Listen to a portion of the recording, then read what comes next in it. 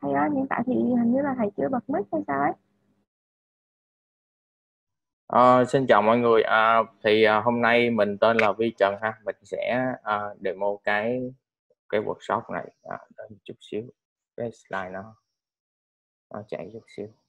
Mọi người thấy cái màn hình xe mình hết đúng không ạ? dạ em thấy à Ok ha. Thì à,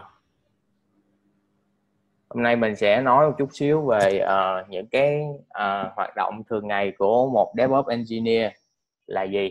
Thì uh, bữa hôm nay nó sẽ giống như là cái bữa chia sẻ nhiều hơn nên là mọi người anh em ở trong đây thì có bất kỳ câu hỏi nào thì có thể đặt cho mình ha.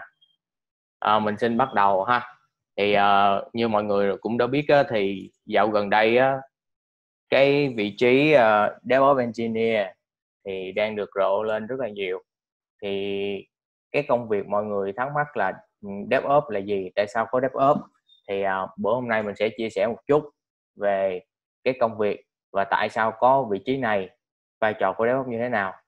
Thì uh, cuối buổi thì mình sẽ có uh, demo một chút nho nhỏ về một cái uh, flow CI/CD uh, à, và dùng Jenkins, uh, Ansible và uh, Amazon Cloud Native thì à, để bắt đầu ha mình xin giới thiệu một chút về bản thân của mình ha. Thì là mình uh, Vi Trần ha hiện tại mình là senior DevOps engineer ở NFQ và đang phụ trách uh, trainer ở cái khóa Ansible tại trung tâm Telfor VN thì uh, trước tiên thì mình cũng rất là cảm ơn uh, trung tâm đã tạo điều kiện để cho mình có một cái buổi webinar để chia sẻ về uh, cái công việc uh, DevOps và có thể uh, giúp cho những ai mà mong muốn trở thành một DevOps engineer có thể tự tin bắt đầu công việc. Thì một số người uh, khi mà mình giảng dạy á, thì có cái uh, hay chia sẻ là họ bắt đầu từ bên uh, system engineer thì không biết là bắt đầu vị trí DevOps thì có khó khăn gì không? Hay là một số anh em từ developer thì khi mà trở thành DevOps engineer thì có khó khăn gì không? Tại vì thấy ờ, có chữ dev ở trong đó nên là một số anh em không có rành về lập trình đó, nên khá là khá là không, không dám apply vào vị trí này á. Thì uh, sẵn đây mình cũng chia sẻ luôn một số cái điều liên quan ha. Thì uh, đây là cái DevOps roadmap mà bên uh, trung tâm Telfor VN đã show ra cho mọi người ha thì ờ, uh, DevOps là như các bạn nhìn sơ đã thấy là rất là nhiều thứ từ số 1 tới số 8 nha. À, mà mình thấy là cũng còn thiếu nữa chứ không phải là như đây là hết thôi ha thì mình sẽ đi sâu chút xíu. À, cái số 1 đầu tiên á, là phải biết được một cái ngôn ngữ lập trình nào đó ví dụ như là Python, Golang, JavaScript, uh, Ruby. Mình nghĩ là có thể là thêm là Java hoặc là PSB, thì nó cũng rất là cần thiết tùy theo stack của công ty ở bên bên ngoài. Rồi cái thứ hai nữa là server administration. Đó là các bạn phải thân thuộc với Linux, Unix, Windows. Cá nhân mình thấy thì à, đa phần là ờ, Linux và Windows thì mình không có gặp nhiều tùy theo stack Linux thì có thể là CentOS hoặc là Ubuntu ha. Rồi cái phần network and security nó cũng khá là ừ, quan trọng. Tại vì á, các bạn phải biết một chút về network để các bạn hiểu được DNS này rồi các giao thức các protocol khi mà nó gọi rồi push get đó, đại khái là những cái đó là cũng cần biết luôn. Như các bạn thấy thì ở đây là cái phần 2 phần 3 phần 4 thì nó nghiêng về system hơi nhiều ha. Đó. Rồi cái phần uh, số 5 á, là infrared code. Ở đây á, là nó nghe nó là infrared code nghĩa là sao? Nghĩa là cái hệ thống của các bạn được dựng lên á nó sẽ được viết lại bằng code và code có thể dựng lên. À, nghe có vẻ hơi hướng về bên developer một xíu hơn viết code đồ. Thì uh, cái này á mình ở đây sẽ có là configuration management uh, container rồi container object data và infrastructure provisioning thì uh, mình nói sơ một xíu uh, tại sao phải cần cái infra code này. Thì uh, có nhiều lý do. Lý do thứ nhất là khi mà anh em uh, dựng một cái hệ thống lên á thì uh, đầu tiên là anh em không có dựng một mình mà anh em sẽ làm việc chung với những đồng nghiệp khác. Cho nên là nhiều khi có một số cái configuration mình làm ở trên hệ thống nhưng mà đồng nghiệp mình không có transparent được thông tin hay là không biết được mình làm cái gì đó. Thì thông qua cái code này á, thì họ có thể biết được là ồ mình đã làm cái gì cái gì cái gì cái gì. Nó rất là rõ ràng. Ha à, ờ, cái thứ hai á, là nếu như mà anh em dựng một uh, máy cài đặt một máy hai máy thì à, ok anh em có thể làm bằng tay được. Nhưng mà khi mà anh em cần phải tạo hoặc config nhiều hơn máy một máy hai máy ba máy rất là nhiều thì những cái configuration management tool này nó sẽ hỗ trợ cho anh em cái việc quản lý cấu hình nhanh hơn. Nhanh hơn rất là nhiều luôn. Và không có bị sai sót ở phần mà mình thao tác. À, đó và còn cái thứ ba nữa lợi điểm của cái thằng này là nó có thể tự động hóa được nó tự động hóa được. Khi mà nó, tự động hóa ở đây nó áp dụng như thế nào? Ví dụ như là cái mô hình stack của công ty của bạn á, cần là một mỗi ngày nó dựng một cái hệ thống một cái môi trường cho developer test liên tục hoặc là multi environment để test liên tục. Thì các bạn cần phải dựng lên rồi terminate dựng lên terminate ví dụ vậy. Thì những cái này nó sẽ tự động hóa giúp cho các bạn rất là nhiều ha rồi cái phần thứ hai là cái phần container nó cũng ừ, khá là thú vị ha. Thì uh, container bây, bây giờ đang là xu thế rồi. Thì là ở đâu người ta cũng có có ừ, khuynh hướng là sử dụng container ở, ở đây hết. À, lý do tại sao? Thì à, mình sẽ nói qua một chút xíu nha. Thì à, nếu như mà các anh em làm trong à, cái phần mà operator operation của hệ thống thì lúc nào cũng nghe được cái câu là mà anh em developer thì hỏi là tại sao tôi test ở local nó chạy mà chạy lên hệ thống uh, ở trên server nó không chạy hiểu vậy. À, thì uh, rồi có cái nữa là sao tôi cài cái version ở đây là à, ví dụ ha là MongoDB version 1.xxx ví dụ vậy. Mà lên trên kia nó chạy tới lại 2.x nó không có đồng nhất. Thì ờ, những cái cái thằng như vậy nè nó sẽ hỗ trợ cho bạn giải quyết được cái chuyện đó ngoài ra thì container nó có những lợi điểm là nó build up nó rất là nhanh. À, thì uh, khi mà container nó ra đời và khi mà nó đưa vào cái hệ thống mà chạy production hiện tại á, thì nó có rất là nhiều cái thằng mà quản lý container đó. Mà cá nhân thấy thì bây giờ Kubernetes nó đang là một cái gọi là xu thế và nó đang rất là phổ biến không hẳn ở Việt Nam không mà ở toàn cầu. Và khi mà các bạn chạy Kubernetes là các bạn phải Kubernetes là phải đi với Docker ví dụ vậy. Thì cái thằng Kubernetes này có thể chạy trên on-prem cũng có thể là chạy lên trên môi trường cloud native ví dụ như là Amazon, à, Azure, à, Google Cloud. Thì à, đó là một một chút xíu về cái container ha. Rồi cái phần tiếp theo á, là cái phần mà infrastructure provisioning á. Thì cái thằng này á là tại sao giống như mình nói là tại sao phải có configuration management thì cái thằng infra nó dựng lên nó cũng tương tự như vậy. Thì ờ, ở đây á, thì Terraform nó hỗ trợ khá là cứng trong cái vấn đề này. Nó có thể init cho các bạn trên uh, VMware hoặc là uh, môi trường AWS Cloud à, rồi à, Google luôn. Rồi à, Azure. Ngoài ra thì trong từng cái môi trường cloud native nó có cái công cụ hỗ trợ riêng ví dụ như trong Amazon có Cloud Formation. Còn à, Azure thì có Azure Template ha. Còn ví dụ tương tự như Google có Deployment Manager. Đó. Thì là các thằng Terraform của HashiCorp nó là một cái thằng kiểu như là đứng ở ngoài thiếu vật tư nhưng mà các bạn có thể hiểu đơn giản là nếu như các bạn hiểu được cái cách viết và sử dụng Terraform á, thì khi mà các bạn chen mấy cái cloud environment á, nó cũng đơn giản hơn là cái cú pháp các bạn rành trong cloud formation AWS nhưng mà khi mà nhảy qua Azure nó không xài nữa thì có thể cú pháp nó sẽ thay đổi không?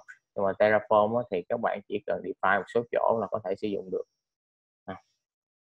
Rồi, cái cái phần tiếp theo cũng khá là quan trọng mà trong cái phần mà DevOps roadmap đó là CI/CD thì uh, hiện tại á, là nếu mà mấy anh em nào làm về thuần về system á, cái khái niệm CI/CD này nó rất là lạ lẫm có thể là họ không biết luôn. Thì uh, mình xin giải thích sơ một xíu về cái CI/CD này ha. CI/CD này là uh, continuous Interray và continuous delivery. Uh, mình còn nhớ chữ đi nó còn thêm một cái ý nghĩa nữa. Ờ, không không có sure lắm là đại khái là khi mà à, luôn luôn cái luôn luôn là tích hợp mà.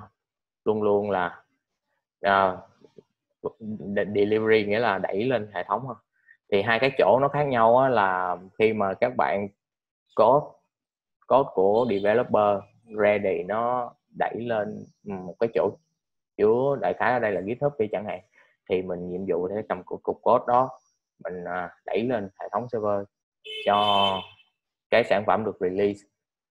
Thì uh, cái chữ đi đó khác nhau ở chỗ là ở cái production nghĩa là có một số người nó tự động hóa tới cái bước trước lên khi uh, trước cái bước mà trước khi lên production khi nào lên production thì phải có uh, develop bấm build deploy thì nó mới đẩy lên production đó còn có một số người thì muốn tự động hóa đẩy lên version là cơ có commit lên master tự động đẩy lên hoặc có tag thì master tự động đẩy lên version luôn. Đó, thì tự động hết trăm phần trăm. Thì thực ra thì hai cái nó cũng về cái flow kiến trúc mà viết ở dưới thì ID nó sẽ giống nhau hết chỉ khác có chỗ là uh, có thể là logic về uh, business họ chưa có muốn đưa code lên vào thời điểm đó họ muốn lên vào cái thời điểm khác mà code họ ready hết rồi nên là họ merge master ờ, này kia hoặc họ đánh tạc nhưng mà họ chưa muốn build. Đó thì khác nhau ở chỗ đó thôi. Cái phần uh, cái phần tiếp là phần monitoring và logging á.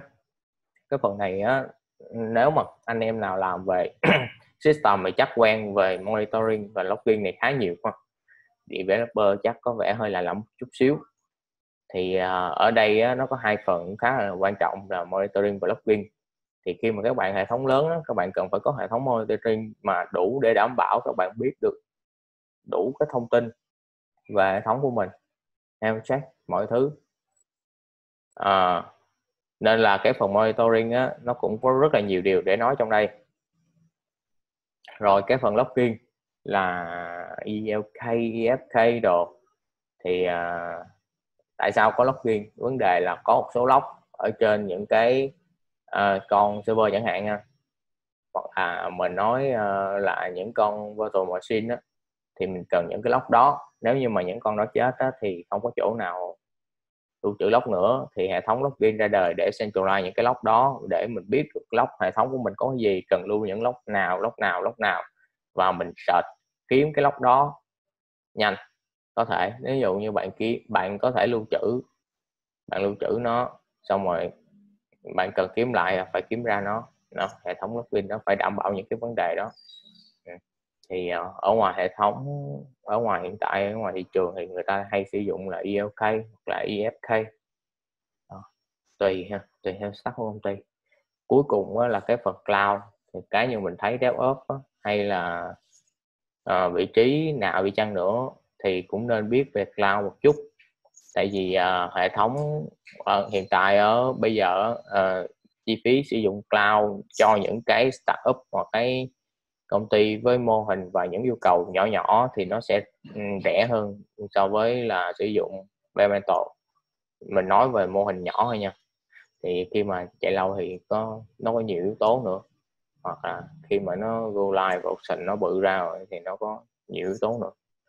Thì cloud hiện tại thì mình thấy là phổ biến là Amazon, Azure và GCP ok thì giờ mình sẽ qua một cái slide khác là nói về à, DevOps Engineer ha.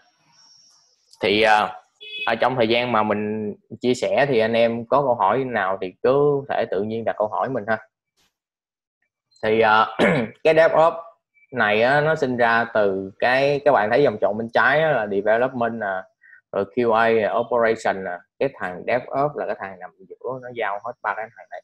Nghĩa là công việc của DevOps nó cũng tương tự như vậy. Nghĩa là đôi khi á, nó cũng cần phải có một chút gì đó development rồi còn phải test coi hệ thống nó có ổn định hay không code viết đồ này nọ là phải có QA ở trong đó. Và một chút về cái operation là vận hành cái hệ thống tùy theo vào cái uh, stack của công ty nó, nó có những cái vị trí khác để nó cover hay không. Nếu không thì là DevOps phải là người làm những cái việc đó để đảm bảo được là cái release của mình nó ổn định.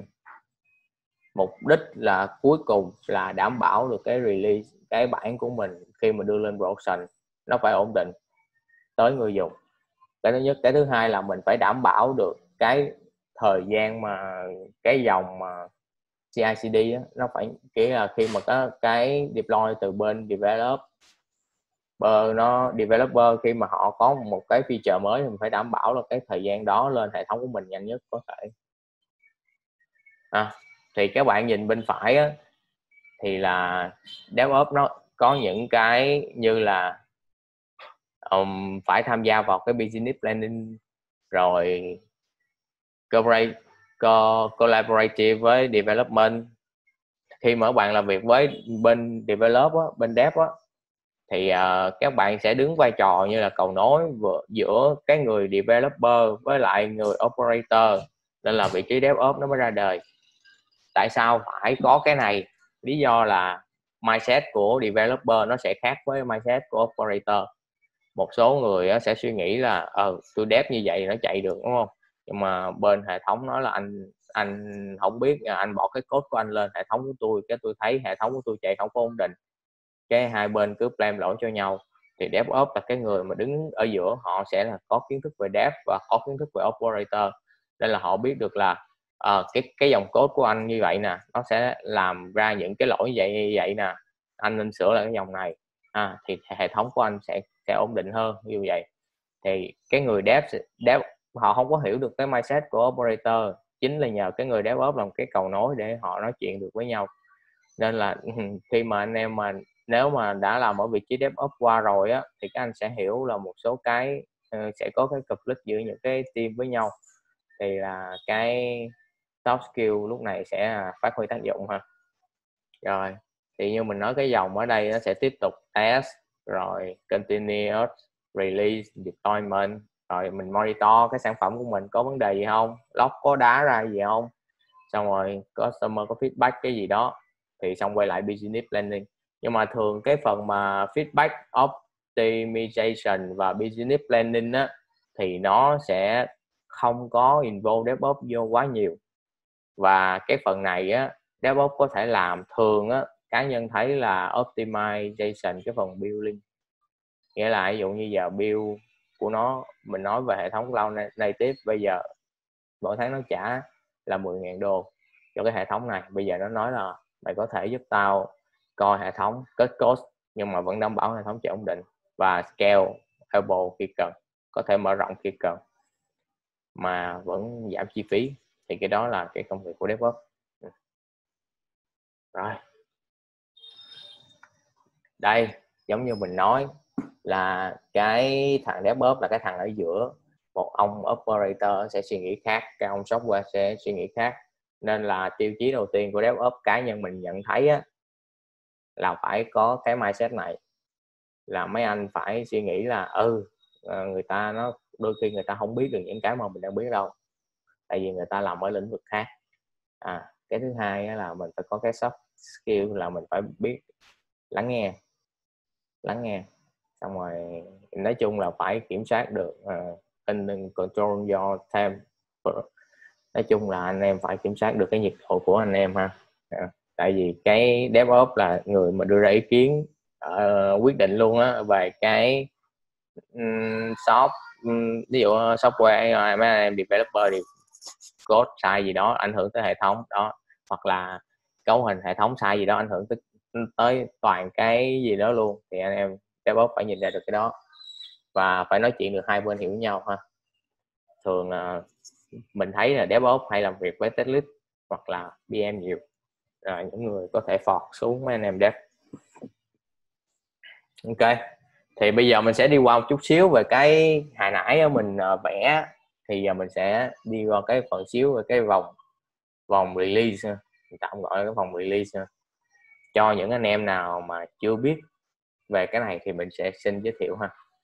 Thì các bạn thấy uh, ở trên cái phần mà plan á các bạn thấy cái plan ở trên đó là khi mà customer sẽ đưa ra cái idea là tao muốn lên cái feature này ở trong Spring này chẳng hạn thì uh, sẽ có meeting bên developer.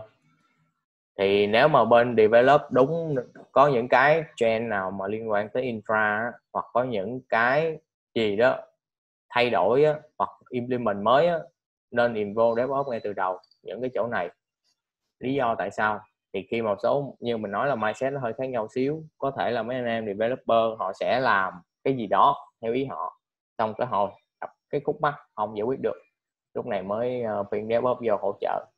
Thì nhiều khi cái solution của mấy anh em dev đang làm nó đi xa quá với cái mà đó trong khi nếu như mình DevOps biết thì chỉ cần làm một vòng ở chỗ này là xong thì như vậy. Thì là những cái đó nên nên là liên quan đến DevOps vào ngay từ đầu. Thì như vậy á, thì những anh em có thể tiết kiệm được thời gian nè công sức nè mà làm hệ thống ổn định hơn. Nhưng mà nhiều người vẫn chưa thấy được cái tầm quan trọng của DevOps. Rồi.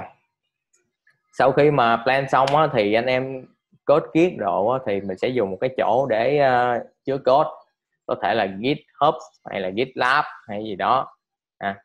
rồi sau đó thì mình sẽ build build xong rồi test build test local mọi thứ bất biết viết xong xuôi hết. Thì commit lên uh, brand develop chẳng hạn. Thì Jenkins các bạn thấy nè có phần iterate Jenkins nó sẽ trigger trigger build deploy thì uh, lên hệ thống. Thì uh, khi mà build deploy vậy á, thì các bạn thấy á, những cái tool thường á, hay xài ở đây là Ansible, Puppet, uh, Docker, Packer, Terraform, Helm à, tùy theo cái stack technical mà mình sử dụng những công cụ phù hợp và tùy theo yêu cầu nữa. Thì sau đó thì phần operator nó sẽ quản đảm bảo được cái hệ thống của mình là sản phẩm nó được release lên hệ thống ổn định rồi mọi thứ. Bên developer thì họ sẽ đảm bảo phần code của họ. DevOps thì đảm bảo cả hai là nó phải ổn định nó phải không có gút mắt gì hết. À, cái thằng DevOps á, là nó cũng khá là quan trọng ở chỗ này. Lý do là khi uh, như mình nói á, khi một cái sản phẩm mà đưa lên mà nó có lỗi lầm gì đầu tiên á, là lỗi của DevOps trước á nên là mấy anh em DevOps sẽ phải uh, làm việc với áp lực hơi cao chút xíu ở chỗ này. Đó thì đây là những cái mà những cái tool mà hiện tại ngoài đang phổ biến phổ biến. Rồi. Trách nhiệm của DevOps như mình nói cái soft skill là quan trọng nhất. Và mindset của DevOps là phải hỗ trợ cho cái sản phẩm của mình là ổn định nhất. Rồi developer operator mình sẽ là người đứng ở giữa để làm cho mọi thứ nó smoothly. Các bạn biết là theo như mà mình để ý á, thì đa phần á, các công ty mà technical á thì à, lỗi á, về technical hiếm khi nào mà không xử lý được lắm. Mà đa phần không xử lý được á, là vấn đề con người thôi nghĩa là những người giỏi làm việc với nhau á, ở Việt Nam mình hay có những cái conflict. Mà vì lỗi conflict đó nó dẫn tới chuyện là không còn làm việc được với nhau nữa chứ không phải là không giải quyết được những cái vấn đề technical. Nên là cái vấn đề con người và vấn đề xử lý DevOps phải là cái người đứng ra tại vì DevOps đứng giữa mà để cả developer và operator họ là cái người phải có đủ kiến thức để nói để cho những anh em khác hiểu và cái cách nói như thế nào nữa? Soft skills rất là quan trọng. Rồi cái phần bên trái á, là cái phần về operator cái phần bên phải á, là thiên về cái phần developer. Thì à, mà câu quay lại cái câu à, hỏi mà hôm trước à, hồi nãy mình có đặt ra là có một số anh em hỏi mình đó là nếu như mà nếu như mà mình bắt đầu từ bên system qua mình thấy vị trí DevOps mình cũng muốn làm quá nhưng mà cái phần system nó nó nó hạn chế phần tốt của mình quá. Đó thì à, giờ sao? Thì các bạn vẫn cứ tự tin đi ha. Tại vì cái phần bên trái của các bạn á, là mạnh rồi cái phần bên phải các bạn cố gắng thêm. Ví dụ như các bạn phải biết được ít nhất fast script rồi sau đó thì cố gắng tìm hiểu cái cách đọc hiểu về một ngôn ngữ nào đó tùy theo cái mà bạn đang đang uh, nắm giữ. Ví dụ như là công ty đang sử dụng PHP thì các bạn phải biết một chút gì đó về PHP à, công ty bạn sử dụng Java thì phải biết gì đó về Java à. rồi sau đó thì những cái uh, những cái công cụ giúp mình hỗ trợ trong công việc im, uh, implementation hoặc operation mỗi ngày ví dụ Ansible nè uh, Helm Puppet đó rồi Terraform Docker đó là những cái anh em system. Nếu mà muốn nhảy vào vị trí DevOps thì nên tìm hiểu. Đó. thì uh, có những cái lợi điểm trong những cái tool đó. Và có những cái nhược điểm thì tùy theo những cái môi trường mà mình sử dụng. Nhưng mà những cái tool này là ở ngoài đang sử dụng rất là nhiều. Ansible. Ansible có thể dựng cái hệ thống uh, configuration uh, tự động hóa à, khi mà các bạn dựng một con máy mới lên các bạn muốn cài đặt những cái thông tin ví dụ như là Nginx rồi BSB rồi một lượt thì Ansible hỗ trợ cho bạn làm được chuyện đó. Ngoài ra thì Ansible có thể hỗ trợ nhiều hơn những công việc đó. Ví dụ như bây giờ Ansible có thể tích hợp được việc uh, tạo những cái resource trên cloud này trước ví dụ như là Amazon. À, đó mình dùng là Ansible để mình uh, tạo launch template update launch template update auto scan group hỗ trợ trong phần deployment. Đó là một ứng dụng của Ansible luôn. Rồi. Tương tự Terraform. Terraform có thể dựng cho bạn một hệ thống lên rất là lẹ. Ừ. đó. Thì uh, các bạn phải biết được một chút gì đó kiến thức về code về logic ha. Ngoài ra thì cũng phải có kiến thức về testing nghĩa là mình còn kiểm tra hệ thống của mình có lỗi gì không lỗi ở đâu điều bất như thế nào sửa như thế nào. Quan trọng là mindset của các bạn phải hiểu được cái đó. À, rồi những cái tool uh, automation hỗ trợ cho các bạn. Tại sao các bạn phải sử dụng những cái tool này? À, tại vì nó hỗ trợ cho các bạn thay vì bạn phải cài tay cái máy một ngày các bạn cài xong được hai cái máy ba máy là nhiều. Nhưng mà thông qua cái tool này bạn chỉ cần tốn có chưa đầy 10 phút nữa là bạn có thể setup được một hệ thống nhiều hơn là bạn tưởng tượng nữa. Thì ở đây là ví dụ như là thằng Ansible chẳng hạn hiện tại là nó có rất là nhiều cái role mà cộng đồng đã contribute sẵn.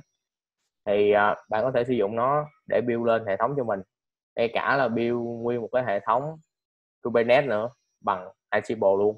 Tại vì cái role người ta viết sẵn rồi mình chỉ cần sử dụng cái role và điền những cái mà mình cần vào đó những cái giá trị mình cần vào đó thì nó build hết cho mình đó là một ví dụ ha. Rồi thì à, có một cái câu mà mình rất thích khi mà um, làm DevOps engineer nếu mà bạn làm gì thì cũng phải có trách nhiệm với nó. You build it you run it. Nghĩa là bạn build cái hệ thống của các bạn. Thì các bạn phải nhớ là ừ phải có trách nhiệm với cái hệ thống đó. Mình giống như là phải chăm chút cho cái sản phẩm của mình vậy các bạn đó. đây là những cái phẩm chất mà cá nhân mình nghĩ là muốn trở thành DevOps engineer các bạn phải có là những cái điều này thì uh, nếu mà anh em nào mà cân nhắc muốn chuyển qua cái vị trí DevOps thì hãy uh, suy nghĩ kỹ những cái điểm ở đây ha thì ở đây là những cái điểm mà mình nghĩ là nên có chứ không phải chuyện dẫn chơi đâu rồi mình sẽ đi qua một chút xíu về cái chia sẻ thôi nha về uh, DevOps Career Path. Thì uh, các bạn thấy uh, hiện tại đây uh, là đa phần anh em thấy là switch qua cái role DevOps lý do là lương cao đúng không? Mà công nhận là lương nó cũng cao thiệt á. Nhưng mà trên mặt bằng chung á thì nó cao hơn cái vị trí như là uh, network uh, admin. Mình không biết chính xác nhưng mà cái này là theo idea cá nhân thôi nha. Và theo cái mặt bằng chung mà mình thu thập được thôi nha thì cái vị trí này nó cao hơn cả dev một chút. Thì uh, cái career path nó sẽ bắt đầu là từ junior nè lên uh, standard. Rồi senior các bạn thấy cột bên trái á, là kỹ năng technical. Cột ở dưới á, là management là kỹ năng quản lý. Thì khi mà các bạn lên cao thì các bạn sẽ đòi hỏi được cả về kỹ năng quản lý và kỹ năng technical thì trên vị trí ừ, senior á thì là sẽ um, kiểu như là higher level của bạn về technical á. Thì ở chỗ này á bạn sẽ có hai con đường để bạn đi. Nếu như bạn uh, theo cái hướng technical phát triển á thì các bạn sẽ trở thành expert. Nghĩa là bạn chuyên sâu vào một cái mảng đó luôn và bạn trở thành chuyên gia vào cái mảng đó luôn còn à, nếu như các bạn đi theo cái hướng quản lý á, thì ở đây các bạn có thể trở thành CTO hoặc là ừ, whatever ha về cái vấn đề quản lý về mà quản lý có cái kiến thức về technical.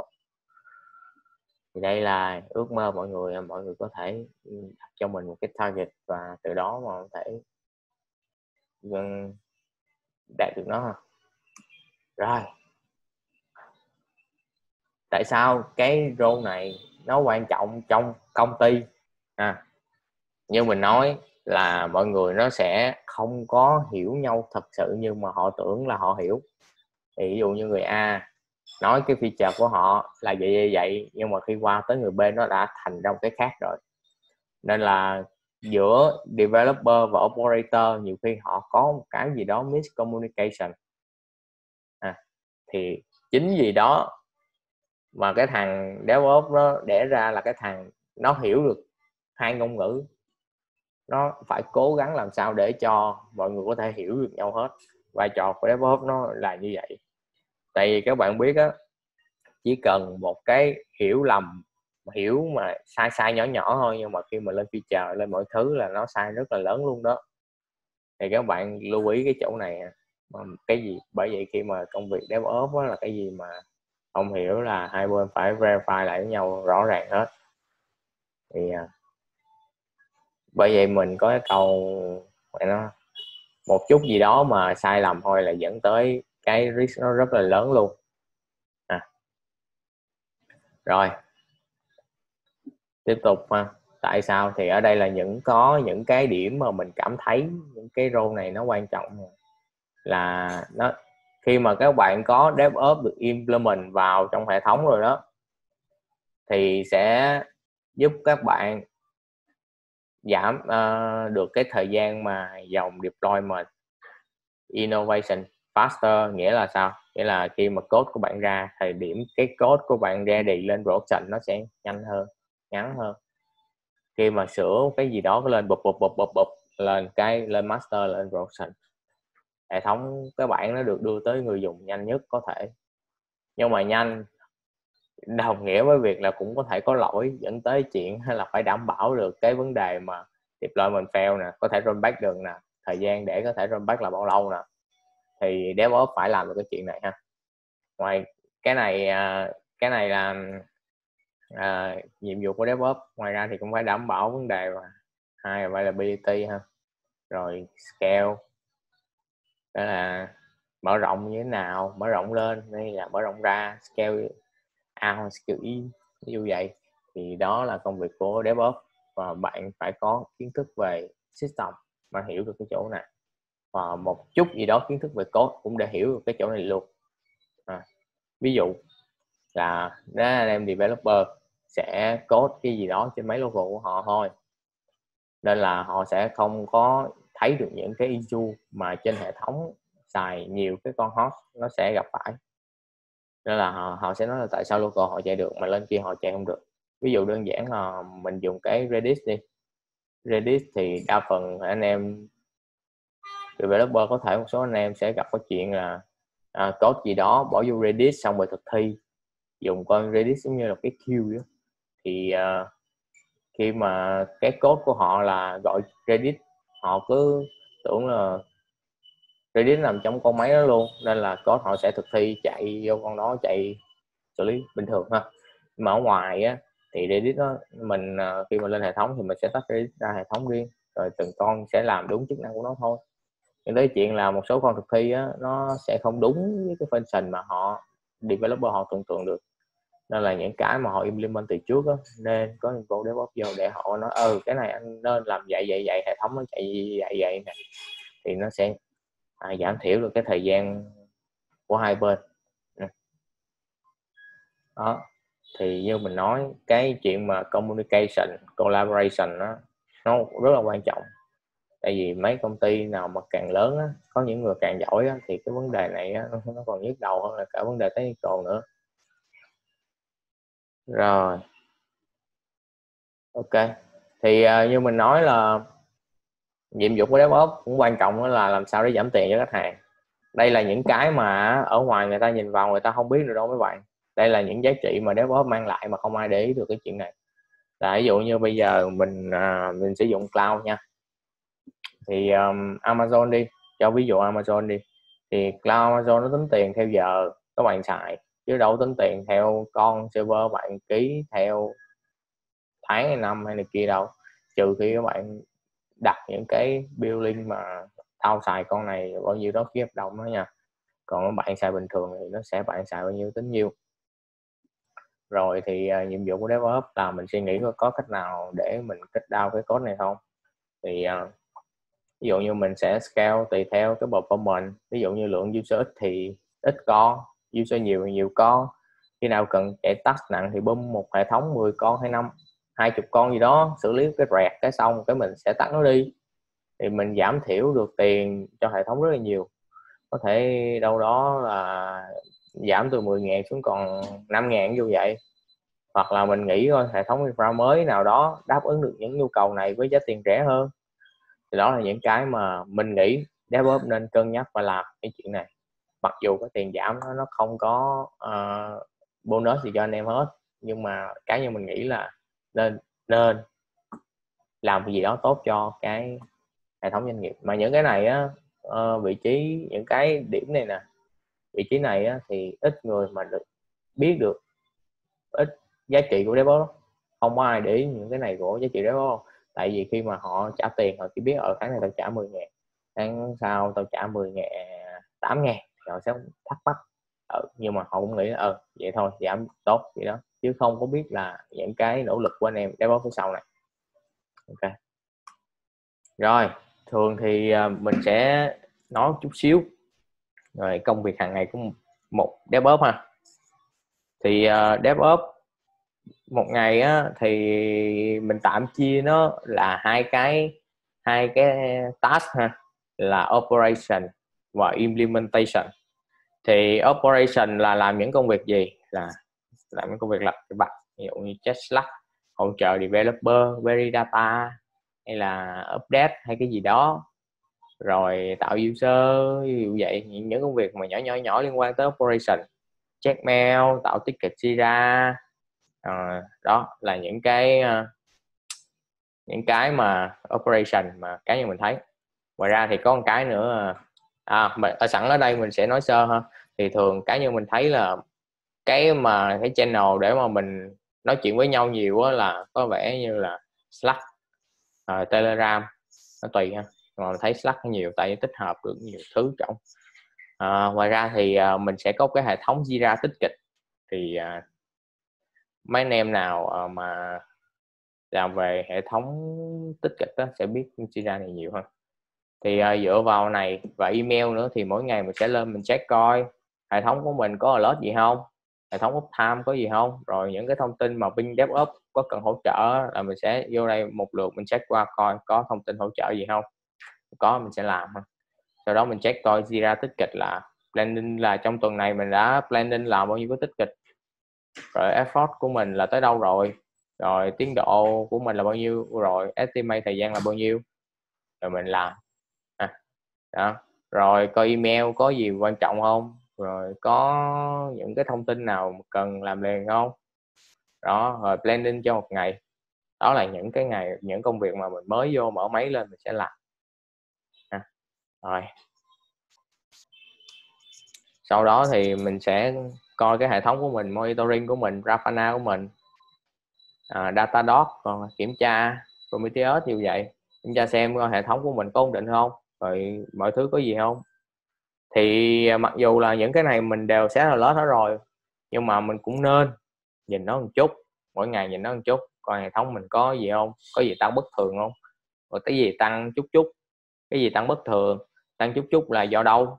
Rồi mình sẽ có planning nếu như mà nó cần optimize. Đó là một cái ví dụ ha, về operation. Ngoài ra thì có thêm cái nữa, đó là meeting. Cái meeting này rất là quan trọng. Cá nhân mình thấy là cái thời điểm mà meeting quan trọng nhất là đầu screen với lại những cái như mà mình nói khi mà có những cái họ bên developer họ chuẩn bị implement cái gì đó feature mới vào đó, thì mình mình nên join vào để hiểu coi họ làm gì. Không cần phải nói với nghe thôi để mình để mình biết được là họ đang làm gì. Thì uh, mình sẽ là người mà liên quan vô những cái cuộc họp rồi mình đưa ra những cái idea. Ví dụ nha, bên developer họ không biết về những cái công nghệ mới mà họ cần phải implement cái hệ thống mà phải API xác thực rồi này nọ. Nhưng mà thay vì họ phải làm trong code, họ phải làm mọi thứ thì có thể mình có thể suggestion là sử dụng công hoặc là một cái thấu party nào đó đã làm được cái chuyện đó rồi, có những cái plugin làm rồi thì nó sẽ nhanh hơn và nó sẽ ổn định hơn là họ phải đi làm cái chuyện đó. Thì đó là những cái mà mình nên đưa ra ý kiến. Ừ nói chung là cá nhân mình thấy DevOps quan trọng. Rồi, cái phần operation task là như vậy. Còn implement implement, implementation task là như thế nào? Thì là khi mà các bạn implementation một cái mới lên, ví dụ như họ cần dùng cái environment mới lên, họ cần dùng cái stack mới lên, thì nên nên làm cách nào? Thì mình sẽ là người đưa ra cái lời khuyên, đưa ra suggestion và đưa ra cái solution là ưu điểm như thế nào nhược điểm như nào giá cả là sao. Rồi sau đó thì thời gian mình sẽ dựng cái này lên cho họ là bao lâu những môi trường lên như thế nào auto deploy như thế nào. Thì đây là những cái task liên quan về operate implementation nhiều. À. thì uh, chung quy lại DevOps là cái người làm nhiều nhất. Uh, cả một chút gì đó về uh, dev một chút gì đó về operation system. Đó, thì họ sẽ phải làm hết này luôn. Rồi câu chuyện hồi nãy là mấy anh em từ bên ship qua bên DevOps thì có vẻ tự tin hơn xíu ha. Thì còn mấy anh em ừ, developer mà muốn qua bên đây thì sao? Thì đối với một số anh em developer thì họ đã có background dev sẵn rồi nên là phần viết code họ không vấn đề gì à, nhưng mà họ bị thiếu một cái là à, họ không có biết được cái phần ờ, system nó chạy như thế nào thì network làm sao. Rồi ừ, có một số anh em là sale họ không có rành lắm. Đó thì những cái thằng thớt bậc ti nó đã nó sinh ra để hỗ trợ một số anh em vấn đề đó. À, đơn cử về vấn đề mà uh, provisioning thì những cái đó đều Ascot hết rồi. Và ví dụ như Ansible đi. Mình ví dụ Ansible chẳng hạn thì là nó sẽ viết với dạng file YAML. Mà YAML thì mấy anh em có đọc vô cái hiểu liền. Ngôn ngữ nó trực quan. Cài cái này cái kia module nó support. Mọi mọi mọi người cứ gọi cái module đó và điền những cái uh, giá trị vào thì cái module nó sẽ init lên cho anh em. À, không có cần biết SEO nhiều lắm nhưng mà nên biết nha. Tại vì khi mà làm DevOps thì những cái này nên cần rồi cái uh, phần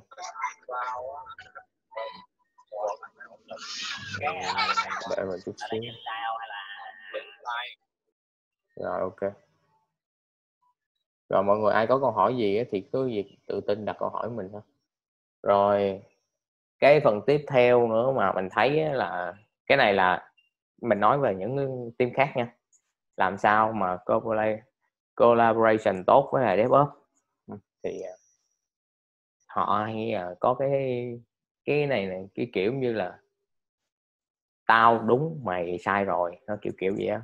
Những cái team dev hay nói là ê, tao làm cái này nè, là code tao chạy local đúng, mày lên production mày dạy sai.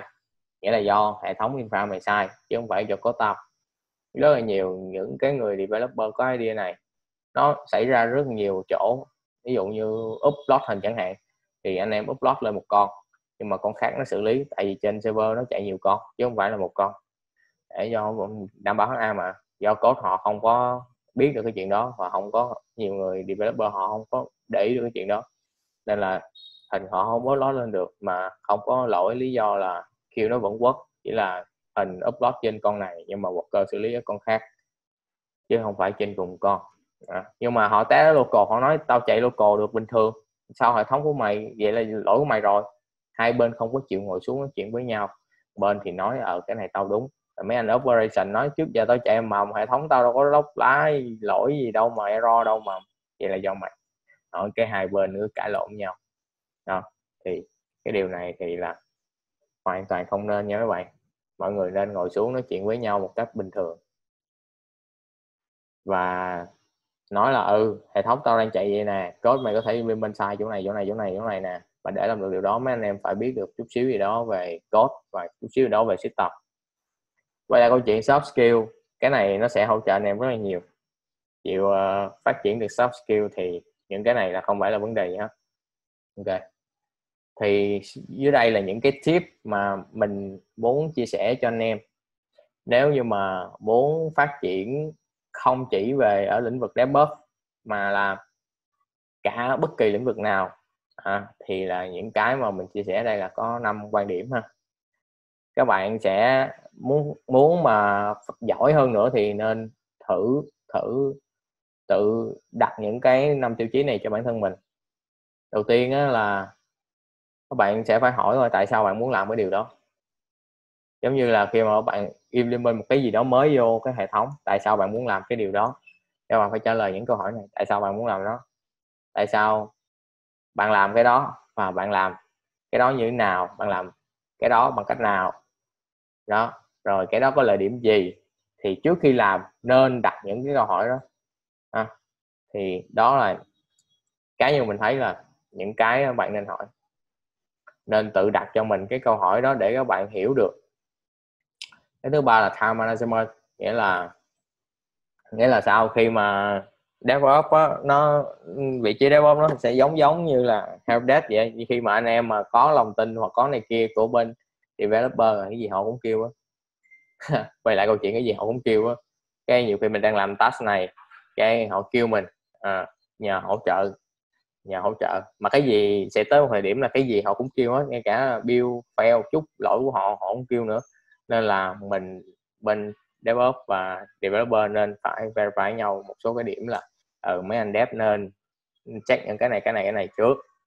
Check xong xuôi hết rồi nghĩ coi có sai chỗ nào không? Không sai chỗ nào?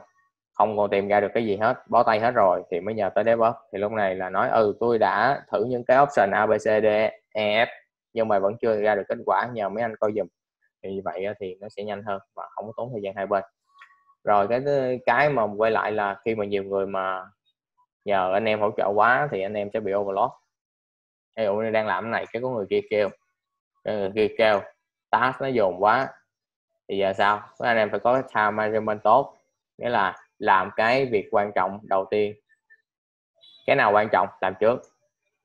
Khi mà làm xong rồi, mình sẽ đánh giá lại coi những cái mình đang cần làm, cái nào quan trọng tiếp theo, thì sau đó mình sẽ làm nó.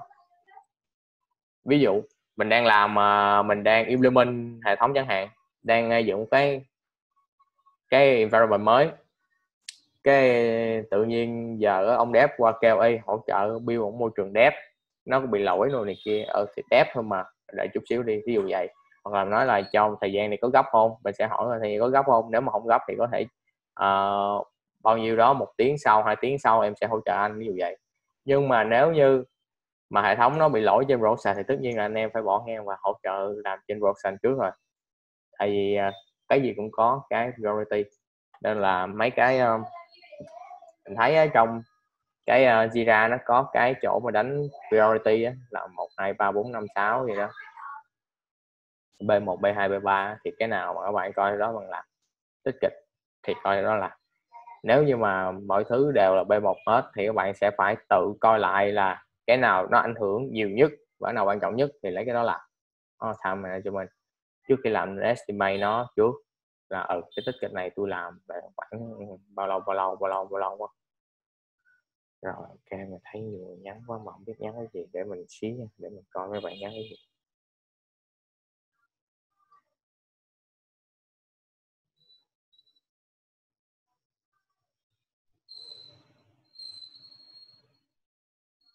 Các bạn có câu hỏi gì thì cứ hỏi nha tại vì nhiều khi mình đang nói nó nhắn tin message ở dưới nó không thấy được.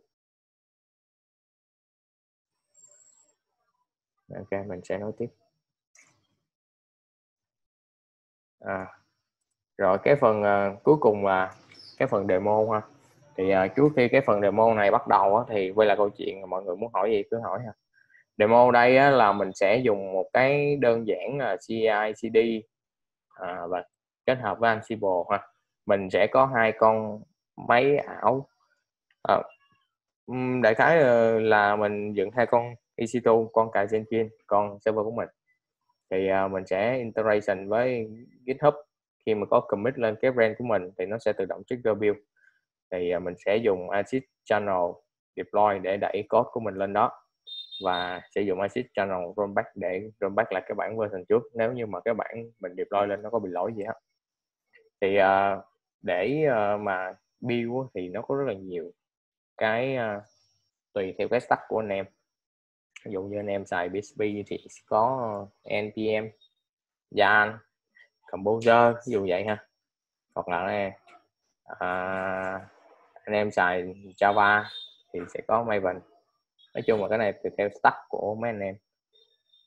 Thì mấy anh em sẽ sử dụng các anh em nãy giờ thấy DevOps mình cũng quá trời powerful nhưng mà không có gì đâu nha. Tùy theo cái công ty thôi. Có công ty á là cái người quyết định sẽ là người tech lead những cái project á, tech lead sẽ là người quyết định. Nếu như mà tech lead họ có mindset về open mind á, thì không vấn đề gì. Nhưng mà nếu mà họ có mindset của developer á, thì là ừ, mà hơi hơi hơi bảo thủ một chút á, mấy anh em cũng hơi mệt đó. Tại vì lúc đó là họ sẽ là người quyết định chứ không phải là mấy anh em à, thì à, nói chung là tùy theo staff công ty ha. Thì cái phần mà cái phần mà web mà mình demo á tới đây à tới đây là chuẩn bị qua cái phần demo. Thì trước khi demo á, thì mình sẽ nghỉ khoảng 5-10 phút gì đó thì trong thời gian này anh em có câu hỏi gì thì cứ đặt ha. Em sẽ tạm thời tắt cái này đi. Để thấy cái slide này. Rồi.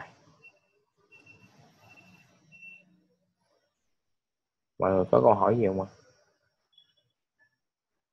Dạ, anh Sơn có, anh Sơn có chat ở trong lúc đó là anh có thể ví dụ với uh, về test cây trực tiếp trên GitLab CI file không anh anh có ví dụ cụ thể nào về việc viết test case trực tiếp trên GitLab CI file không? À, test case này là test case về code hay là test case về gì ạ? Dạ anh Sơn anh cũng có thể bật mic lên ờ, hỏi thầy luôn à. Bây giờ mọi người cứ tự nhiên mở mic lên là nói chuyện thôi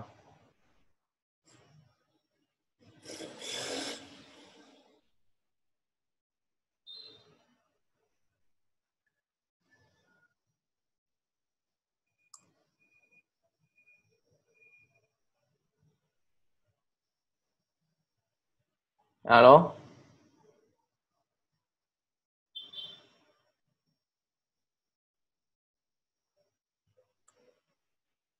Vậy thôi thì ờ, mình sẽ nói về ờ, overall luôn ha.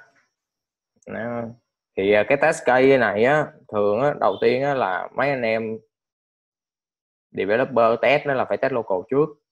Xong rồi sau đó mấy anh, mấy em thường á là sẽ check out ra một cái một cái brand khác xong rồi họ test local thì các kiểu thứ xong rồi thấy ok rồi mới mệt ngược vô cái brand. Tạo cái PR mệt vô develop hoặc là staging hay là um, master à, man á. À, thì khi mà tạo PR lên những cái thằng đó thì nó sẽ chạy một cái flip run check thì cái này á nó sẽ có hai phần. Đầu tiên á là mình sẽ hỗ trợ họ check syntax. À, có thể là những cái comment PHP để check syntax bình thường. Thì uh, thì cái đó là không nói ha. Thứ hai á, là uh, test những cái mà logic thì mình không thể test được trên code thôi thì những cái mà mình có thể làm được cho họ là test uh, so, ví dụ như implement cái Sona scan lên nè. Rồi nhờ họ đưa những cái viết những cái implement cái phần mà test case của họ thì mình sẽ chạy những cái đó để biết coi là họ có pass test hay không. Tại vì mình không biết là code của họ viết implement thêm những cái gì nữa nên là cái phần viết test nên là để cho họ mình sẽ giúp họ implement cái phần đó vào trong CI/CD thôi. Đối với cái thằng GitLab CI á, thì trong cái repo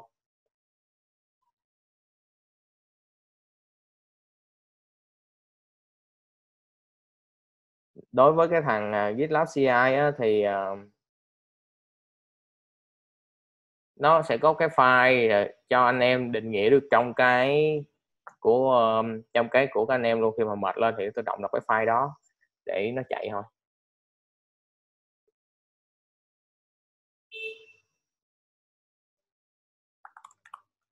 Thì uh, mình có hôm hôm hôm bài demo hôm nay mình sẽ dùng uh, là Jenkins để mình mình uh,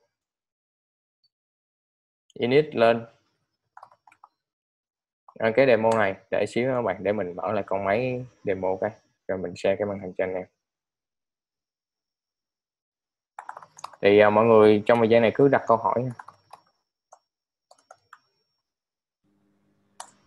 Hiện tại thì các anh có câu hỏi gì có thể đặt uh, bật mic lên và đặt câu hỏi cho thầy vi hoặc là có thể trả trong khung chat của, của cái room mình á. Mọi người cứ tự nhiên đặt câu hỏi và giao lưu là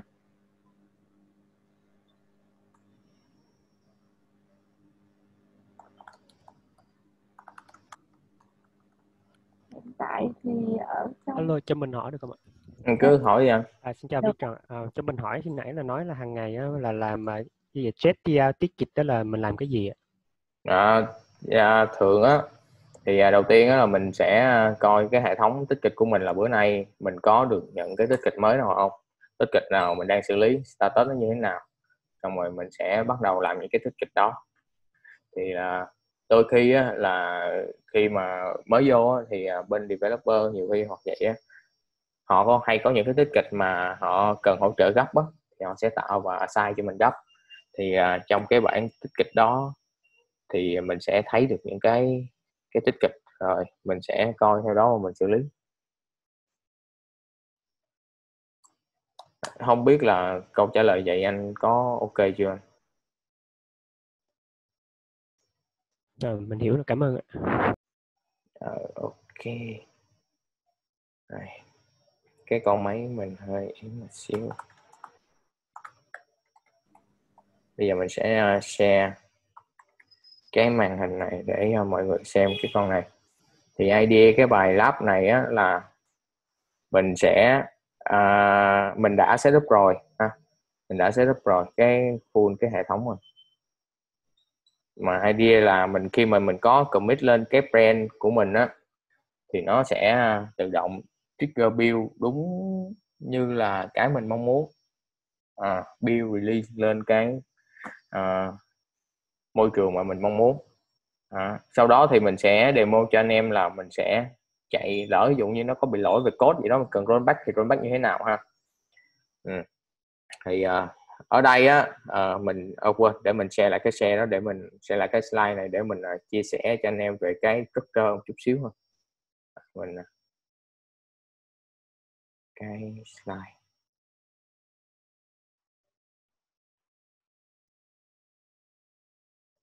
Ok. Về cái slide này. Mọi người thấy cái slide mình xem rồi đúng không? Rồi ok. Thì uh, cái thằng mà bữa nay mình demo á là mình sẽ có con server chạy 24 trên 24 luôn nha. Xong sau đó mình uh, deploy code của mình dùng Jenkins này và Ansible để đẩy cái cục release của mình lên con server đó. Đó. Thì uh, mình sẽ dùng Acid Channel để mình làm chuyện đó. Thì um, cái con server này con server 247 nghĩa là chạy liên tục. Các bạn có thể ứng dụng được cái demo này vào cái ờ, uh, VM mà Elemental của mình cũng được. Ngoài ra thì nó còn một cái mô hình nữa mà mình không có demo ở đây là cái mô hình ờ, đối với mình hay sử dụng ở trong VM Bay môi trường cloud AWS là mình khi mà các bạn release Jenkins sẽ build cái cục đó và nó sẽ đóng nó sẽ dùng Packer để đóng lại một cái AMI một cái image. Xong rồi cái nó sẽ nó sẽ tạo một cái lot template trên Amazon rồi cùng với việc kết hợp là rolling update trong cái auto scale group để mà nó bơm ra cho anh em một cái à, release mới. Đó là là một cách luôn. Ừ. thì à, mình bữa nay mình chỉ demo cách đầu thôi thì cái Ansible như mình nói á, là nó không chỉ là hỗ trợ configuration management mà nó còn có thể bây giờ nó có những cái hỗ trợ khác là tạo những cái resource trên là Amazon luôn cho các bạn rồi. À, thì uh, sử dụng đó để tạo và update những cái như mà mình nói cũng nhanh. Thì lợi điểm uh, của từng cái thì mình sẽ giải thích ở đây. Đối với cái thằng này server chạy 247 và khi các bạn mà có deploy lên á là điểm của nó là gì? Nó sẽ rất là nhanh. Tại vì nó build cục xong nó dùng asin á nó cầm cục đó nó đẩy lên con server của bạn. Nên là thời gian của nó build nó sẽ bằng thời gian thời gian nó deploy bằng cái thời gần như gần như bằng cái thời gian build cục đó thôi. Đơn giản nhanh. À, nhược điểm của nó là đối với một con này á là chỉ có một hoặc hai hoặc ba con server thôi. Khi mà bạn muốn tự động scale ra bây giờ tôi đang chạy một con tôi muốn scale là hai con nếu cho traffic lớn.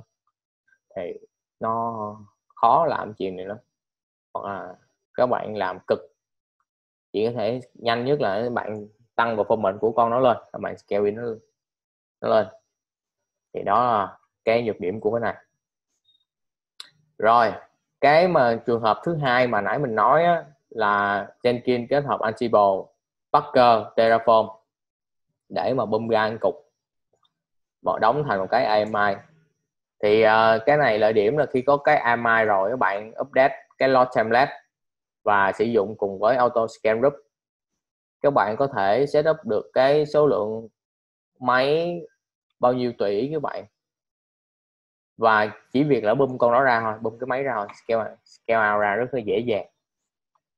À, bạn có thể hình dung là khi mà traffic lớn đó, mình cần xử lý nhiều đó, thì mình có thể bơm ra 10 con 20 con như vậy. Khi mà traffic nhỏ mình bơm xuống còn hai con. À, tiết kiệm tiền nhanh bộ không bệnh ổn định mọi thứ. Nhưng mà nó có một cái nhược điểm là cái thời gian đóng bắt cơ nó lâu. Tại vì nó phải dựng một con máy nó có nhiều cách để implement cái bắt cơ đó nha các bạn. Một đó là bạn mau có trực tiếp cái disk nó vào con Jenkins. Hai là bạn dựng con cái máy ảo dựng nó sẽ dựng cho bạn một cái máy ảo lên. Nó cài hết mọi thứ trong đó nó terminate con máy ảo nó đóng cái cục đó thành cái AMI đó thì cái thời gian mà nó dựng con máy ảo lên rồi nó terminate con máy ảo đi thì nó mất thời gian. Cũng đâu đó khoảng cỡ 4 5 phút gì đó. Rồi sau khi đó up cái đó xong nó bắt đầu rolling update trong cái auto scan group. Mà rolling update nó có nhiều cái option cho các bạn nhưng mà cá nhân mình hay xài á, là nó sẽ terminate từng con để đảm bảo cái độ đó độ ổn định. Thì các bạn cứ hình dung là cứ terminate một con lại dựng con mới lên gì đó, thì nó, thời gian nó cũng lâu lâu nhưng mà trong khoảng thời gian đó là tất nhiên là cái flow ở trên user rồi mọi thứ thì bình thường là không vấn đề gì, chỉ là cái cái khoảng thời gian mà các bạn thấy từ Jenkins build deploy á, nó lâu hơn bình thường, lâu hơn kia nhiều. Đó, thì trong bài này mình sẽ demo theo cái cái solution, cái cái phương án đầu tiên là con server chạy 247 rồi mình dùng acid channel deploy lên ha. Rồi bây giờ mình sẽ share cái à, uh, Jenkins đầu tiên là mình sẽ build bằng tay cho các bạn coi ha. Build bằng tay cho các bạn coi xíu. Rồi.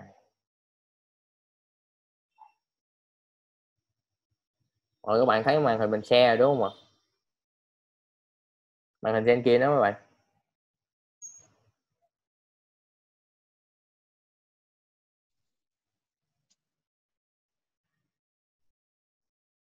Các bạn thấy màn hình kia của mình share hết rồi đúng không ạ? Ok thấy rồi. Anh ơi ok ok. Rồi bây giờ mình sẽ thử thì ở đây mình sẽ có hai cái job một cái job là demo một cái job là rollback. Cái này nó sẽ ờ, đã lên đầu. Đây là demo chấm.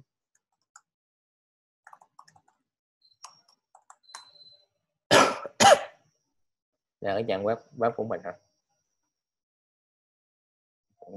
network của mình à, bên mình có vẻ hơi chậm. Thì uh, mình nói sơ chút xíu uh, cái này nó sẽ download cái ờ, uh, repo đây là cái repo của mình ha cái repo demo của mình.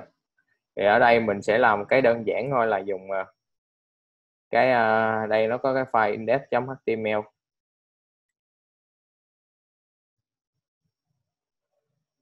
thì là đây là cái file index html của mình thì là mình chỉ là chỏ và welcome đơn giản ha rồi, thì khi mà mình có commit lên cái brand này, thì tự động nó sẽ trigger nó cái job deploy. Job deploy ha. Nó sẽ được trigger cái job này, nó build, và nó sẽ notification qua Slack cho mình là status nó build như thế nào thế nào thế nào ha.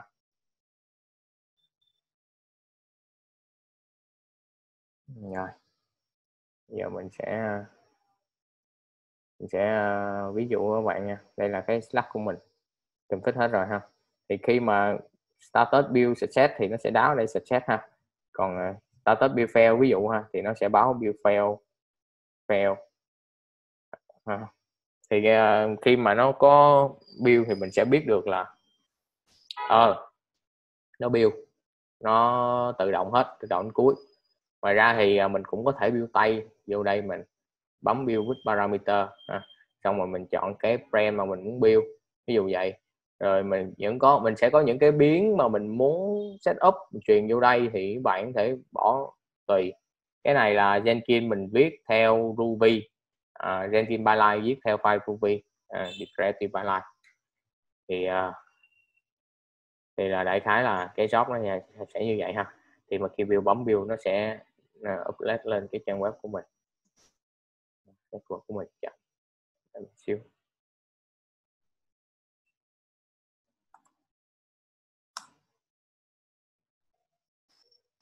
Ừ. Rồi, bên ờ, cái Chrome nó lại ờ, đi nhanh hơn để mình share cái Chrome cho mấy bạn coi.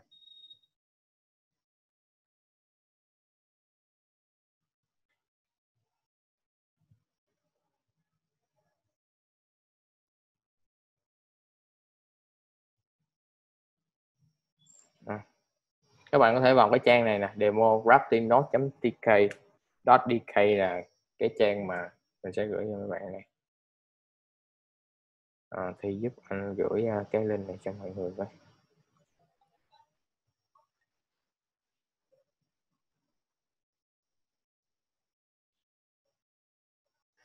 rồi cái trang này cái trang demo của mình ha. Thì khi mà có build á, thì nó sẽ à, uh, lặp vòng vòng ở trong đây à, thì à, mình sẽ thử nha hồi nãy à, hồi nãy mình à, có show cho mọi người thấy là cái uh, git của mình á cái chữ uh,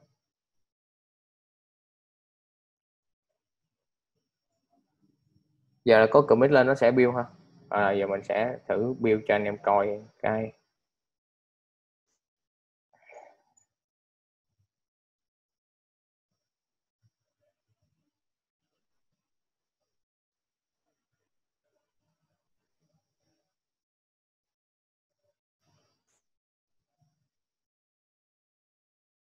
network của mình hơi chậm.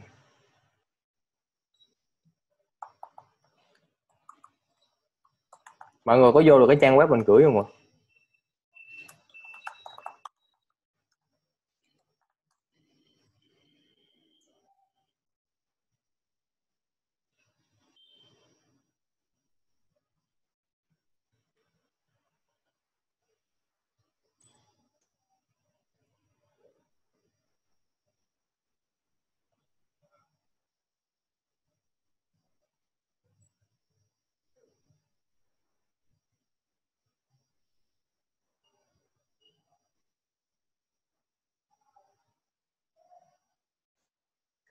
Ừ. sai ha. Sai, xin tắt rồi thôi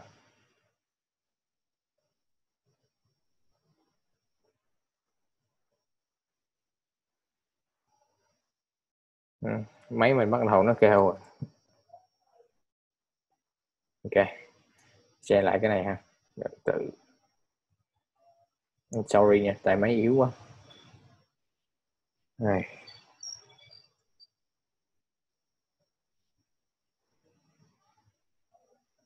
Stop share.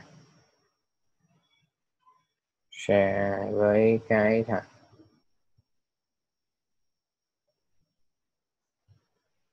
ok. Rồi.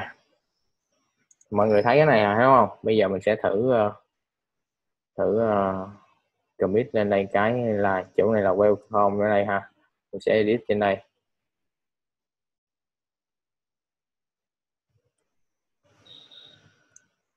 Uh,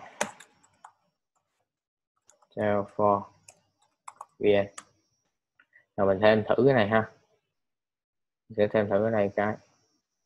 Xong rồi mình commit. Rồi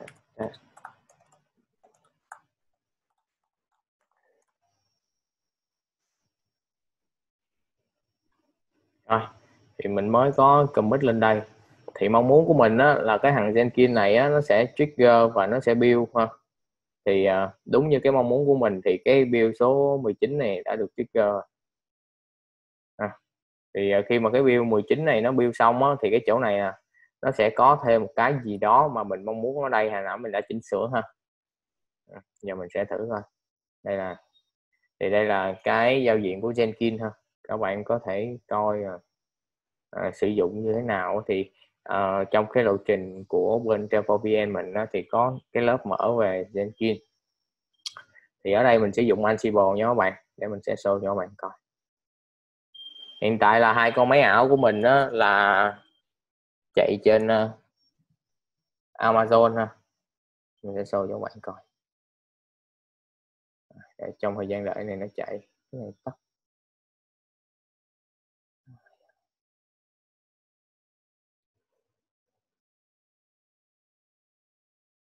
Đó các bạn thấy ở đây status là nó báo bill của mình mới thấy trên sắc luôn đợi xíu nữa mình coi ha. Đây, đây là Amazon của mình.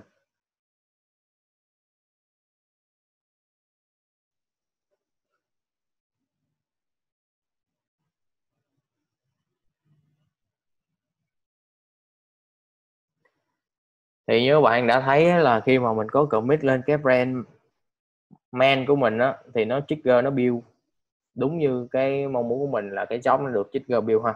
Thì đây là hai cái con. Hai con máy của mình ha. Thì con đây là con trên kia còn con đây là con à, web hot của mình. Thì à, mình sẽ qua coi là nó báo là status build dạ, đó bạn thấy á, build số 19 đã success và lên trong 55 giây các bạn ngoài ra thì à, các bạn có thể bấm vô cái do mình config cái thông tin notification từ Jenkins đáo qua Slack thì bạn có thể custom lại theo ý muốn của mình được luôn. Rồi bây giờ mình sẽ nói một chút về cái phần à, job này nó sẽ chạy cái gì ha. Thì uh, ở đây là mình xài cái uh, acid channel. Thì ở đây uh, mình sẽ nói sau chút xíu. Đầu tiên là kéo repo về không nói gì hết ha. Thì mình có chỉnh sửa cái file này là welcome to tel for vn giờ mình sẽ qua coi cái commit của mình đó có thay đổi gì chưa? À thay đổi này nè. Các bạn thấy ở trên góc góc cái cái tab đó là welcome to demo lab đó, các bạn thấy không? Đó. welcome to demo lab ha. Rồi ok. Cái chuyện đó để qua sau bên đi giờ mình quay trở lại câu chuyện đó là cái job này làm gì? Thì uh, đầu tiên là nó sẽ chỉnh sửa một chút vào cái file index.html xong sau đó nó sẽ dùng acid channel để nó deploy lên. Nhưng mà đầu tiên là nó phải xác định được con host nào. Thì ở đây là mình xài cái dynamic inventory các bạn? Để mình list ra được là cái con app 01 của mình là từ cái uh, đây tại vì các bạn như các bạn đã biết á, thì ờ, cái thằng cloud á, nó IP của bạn cấp cho các bạn á, là Dynamic IP các bạn muốn xài EIP thì các bạn phải đăng ký. Nhưng mà cái con uh, máy của mình á mình không cần phải sử dụng EIP lý do là khi mà mình tắt một con mình mở con khác lên IP nó thay đổi thông qua cái dynamic inventory này và những cái tab mà mình đánh cho nó cái label á, mình dán cho nó thì mình có thể filter được nó nên mình không có cần dùng cái ERP làm gì. À, thì à, tùy ha. Đẹp nhất là ở ngoài cái infra cấu trúc ở ngoài nên nó có một cái LB ở ngoài trước rồi có cái target group rồi có những cái bla bla bla nhưng mà phần demo này mình chỉ đơn giản là chỉ có một con thôi ha. Rồi sau khi mà mình đã xác nhận xác định được cái inventory à, cái con máy mà mình muốn uh, deploy lên đó thì mình sẽ dùng cái ờ, assist channel deploy. Thì uh, đây là cái comment Ansible sử dụng à, assist channel deploy của mình ha. Thì đơn giản là nó sẽ vào cái đó và nó deploy cái code mình lên ha. Đây là những cái bước đó là sau khi deploy xong thì uh, chỗ này nó nó có những cái đó ha. Bây giờ mình sẽ thử một cái uh, cái đầu tiên hồi nãy mình mới làm cho các bạn thấy á, là mình đã trigger nó build được rồi ha. Trigger build khi mà có commit lên git nó tự động mà notification qua slack các bạn có thể thêm những cái thông tin bạn muốn đáo qua slack tùy các bạn ha. Giờ mình sẽ thử một cái uh, bây giờ các bạn thấy cái trang demo của mình chỗ này là welcome to Telfor VN ha. Bây giờ mình sẽ uh, sửa cái dòng này thành một cái dòng khác xong sau đó mình sẽ rollback lại như cái này ha. Để coi là cái job rollback nó chạy như thế nào ha thì uh, thay vì mình sửa Jenkins job thì chỗ này mình sẽ sửa một chút xíu ở chỗ này. Đây là cái highlight của mình. Rồi. Chỗ này là mình sẽ sửa lại một chút xíu thành là à, à. rồi sau đó mình run build.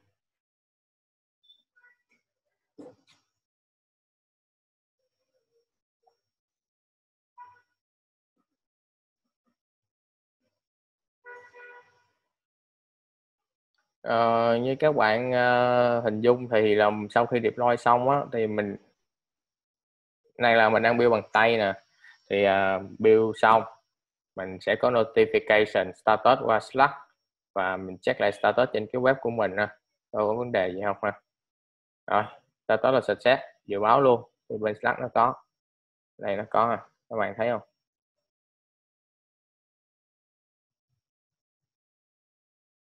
Ok ha.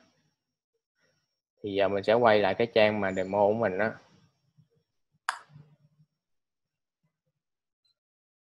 đó. Đợi chút xíu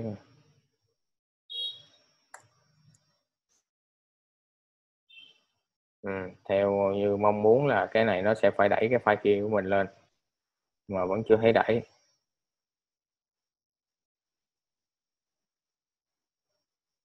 Để mình xem lại xíu cái file index của mình.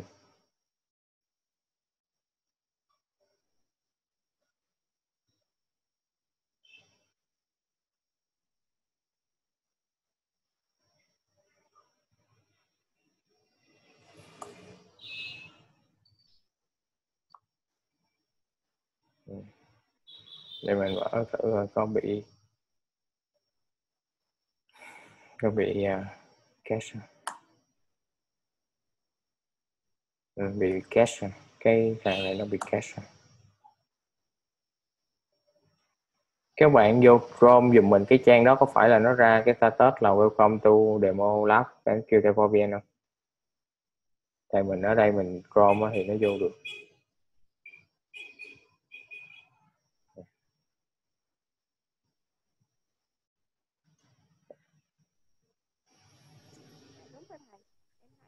Bên uh, Firefox của mình đang có vấn đề. Mình share lại cái Chrome nha không sao. Đó thì uh, vô cái trang này á, thì nó ghi là welcome to demo lab SNFQ uh, à, uh, à, sorry Telfor VN ha. Thì uh, bây giờ á bây giờ mình sẽ làm một cách là chạy cái job uh, rollback. Tại vì giờ cái version này giờ mình không muốn lên mà giờ lỡ lên rồi sao? Thì giờ rollback nó lại. Mà để rollback thì mình sẽ chạy cái job rollback nó thì à, mục tiêu là sau khi rollback nó sẽ trở lại cái version trước. Ok ha giờ mình sẽ thử chạy cái dốc rollback. Thì là rollback này á nó cũng là cái roll acid channel nha. Acid Channel nó viết sẵn cho mấy bạn rồi viết à, rất là ok rồi. Bấm này giờ nó chạy thôi.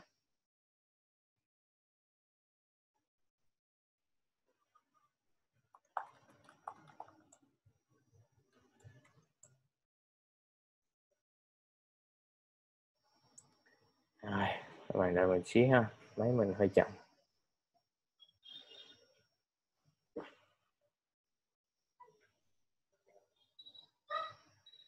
Rồi bây giờ mình sẽ share lại cái màn hình uh, uh, Firefox để mọi người thấy được cái job uh,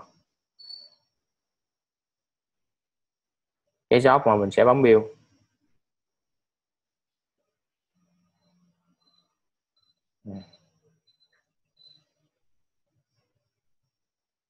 Rồi mọi người có thấy cái màn hình Jenkins của mình trở lại rồi đúng không?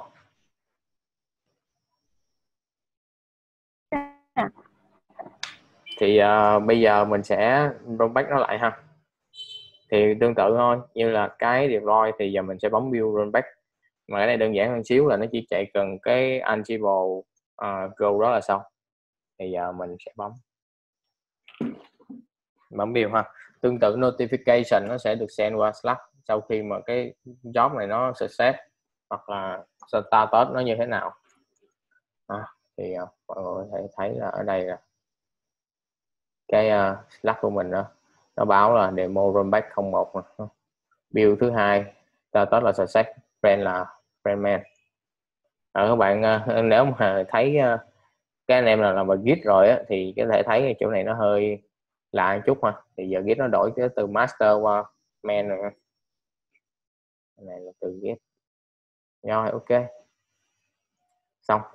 Thì uh, bây giờ sau khi mà nó chạy xong rồi á anh em có thể giúp mình vào cái Chrome á để mà mình xem lại coi nó phải là cái cái thông tin ở dưới nó là trở thành welcome to Telfor VN đúng không? À, mình check Chrome ở chỗ này á, là nó nó ok rồi. Firefox của mình nó chậm quá. Giờ mình sẽ share lại cái màn hình Chrome cho anh em coi ha. Dạ em em vô em cũng thấy rồi đó thầy. Ừ thì uh, các bạn thấy á, là cái mà rollback này á thì uh, thời gian nó uh, rất là nhanh. Ờ, thường á là tích tắc tại vì nó chỉ sim link thôi. Thì thường là nếu như mà các anh em mà code đó mà lỡ nha mình nói rollback mà phần code thôi nha thì uh, cái này nó sẽ hỗ trợ anh em rollback lại cache. Thì anh em sẽ có là cái version version trước đó là một thứ hai cái phần rollback ở đây á là như mình nói là rollback code bay thôi. Còn đối với mình rollback database á thì là có hai chuyện.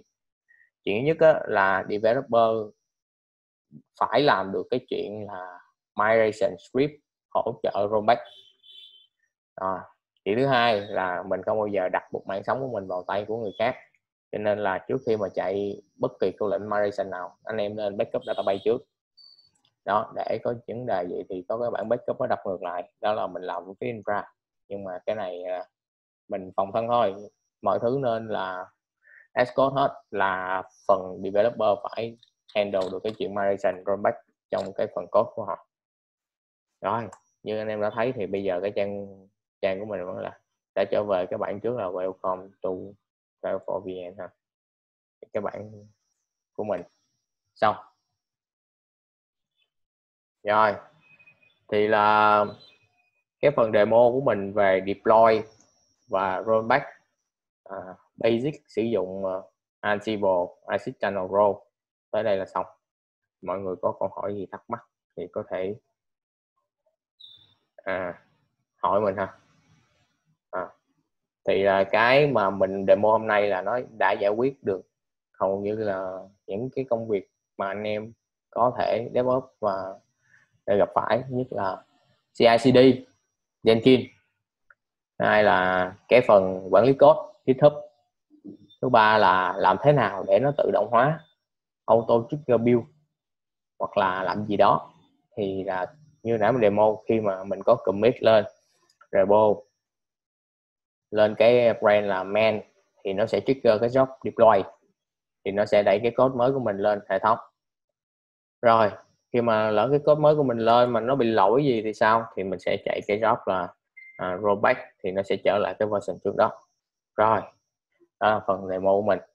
Tới đây là xong. Rồi mấy anh em có câu hỏi à, thì cứ việc đặt ha. À, có liên quan tới Ansible hay là Jenkins hay là cái gì đó hoặc không liên quan cũng được mà có liên quan đến DevOps cũng được.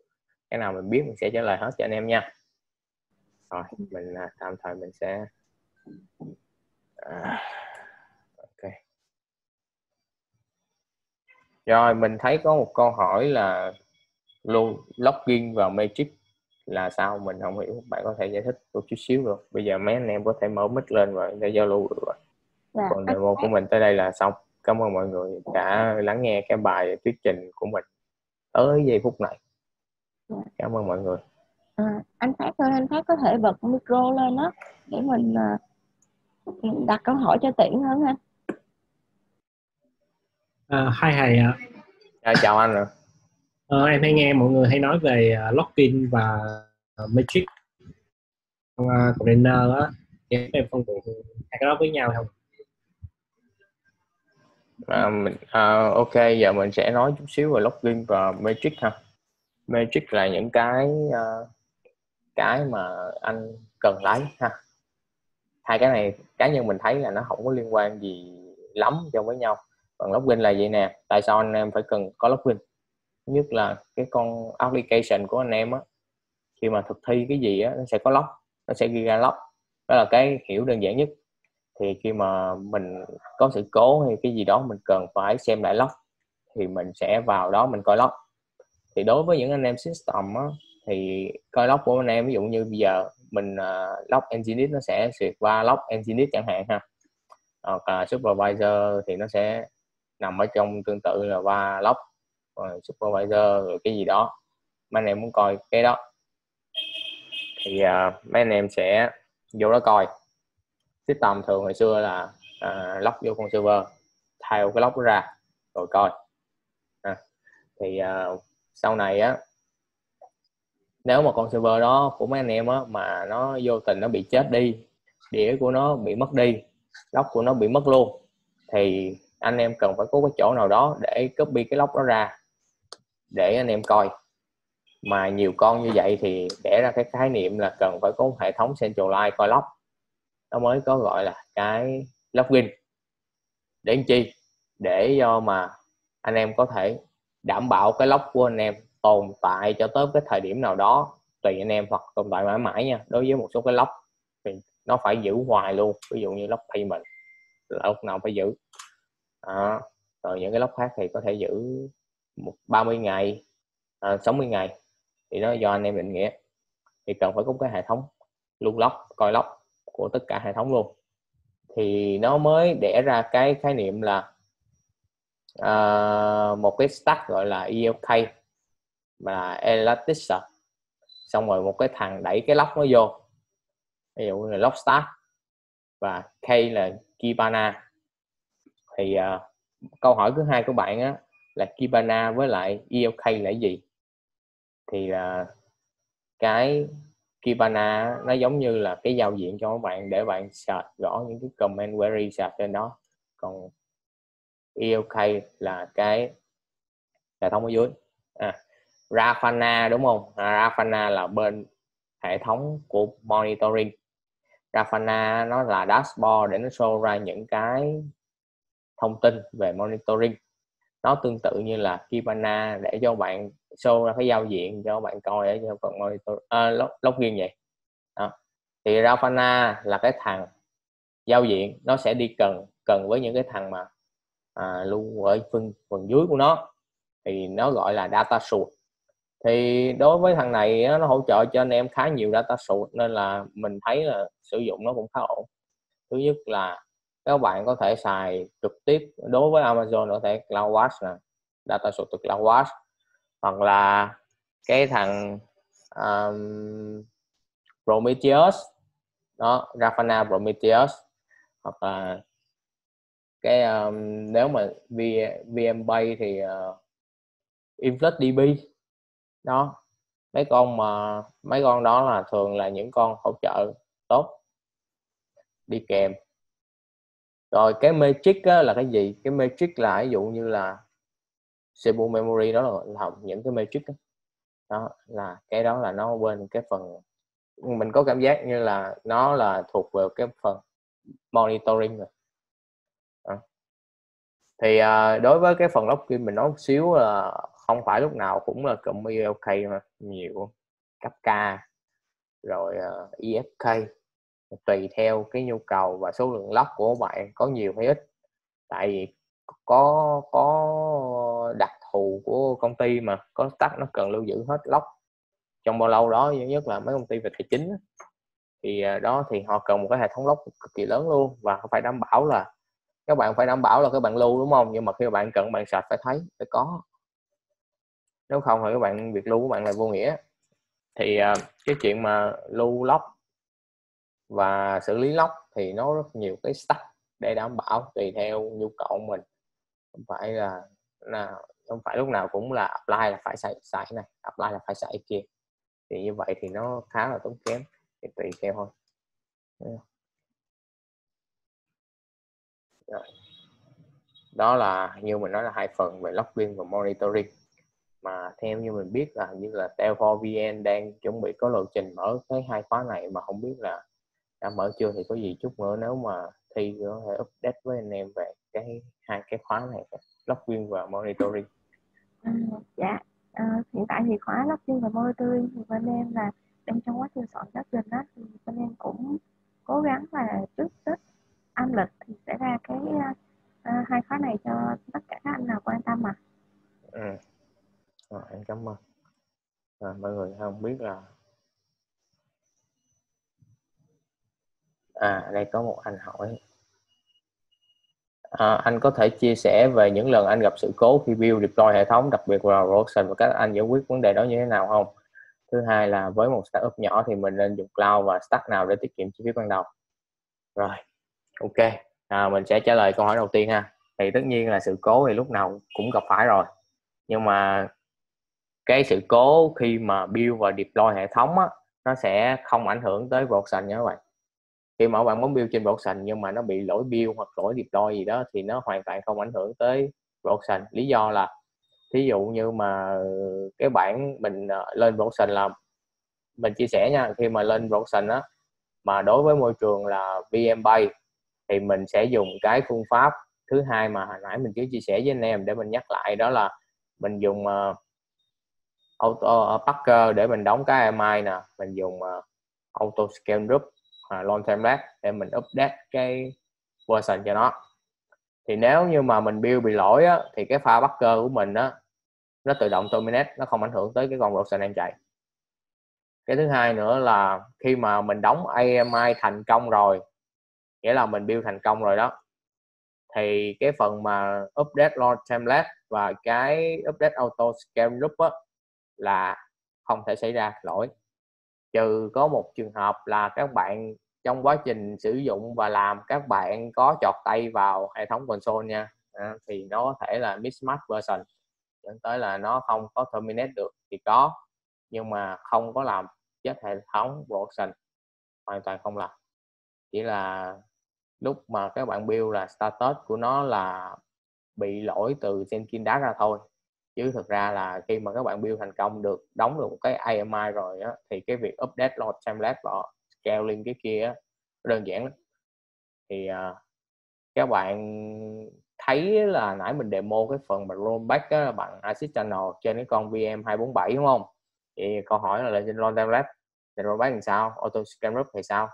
Nó còn đơn giản hơn nữa bạn chỉ cần việc phải switch back lại cái version trước đó. Ví dụ như là load template của bạn đang là version 20 đi deploy cái nữa lên là version 21 thì giờ các bạn muốn rollback á, bạn chỉnh sửa lại cái số đó thành số 20 tự động là nó quất lại cái bục.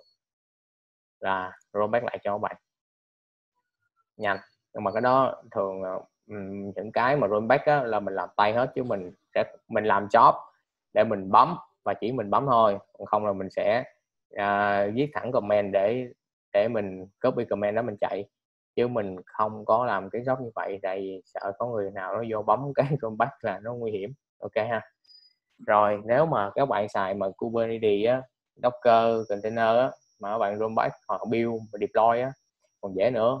Thường á là mình hay xài hem mà nếu như mà hem uh, ờ, hem ba em mà nó build fail á uh, update fail á nha thì mấy cái port của mấy bạn á nó không có bị đụng chạm gì tới không có gì đó, nên là đâu có ảnh hưởng production đâu. À. đó là câu chuyện. Rồi nếu như mà cái bạn mà muốn rollback trên hem thì có cái lệnh cho các bạn là hem rollback rồi revision trước đó rồi cái bụp cái tự động nó update lại cho các bạn luôn.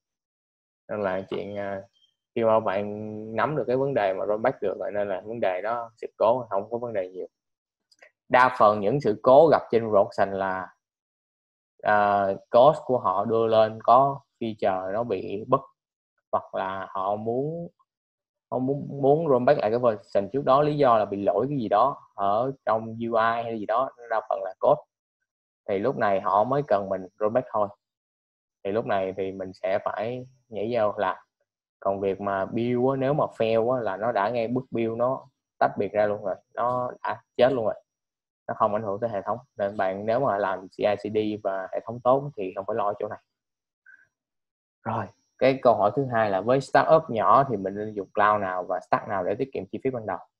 Thì uh, cái chuyện mà tiết kiệm chi phí á khó nói lắm. Ví dụ như là bạn bạn phải định nghĩa được là cái hệ thống của bạn muốn chịu tải được bao nhiêu user hệ thống của bạn phải có HI không? Rồi bạn đi theo cái mô hình stack nào?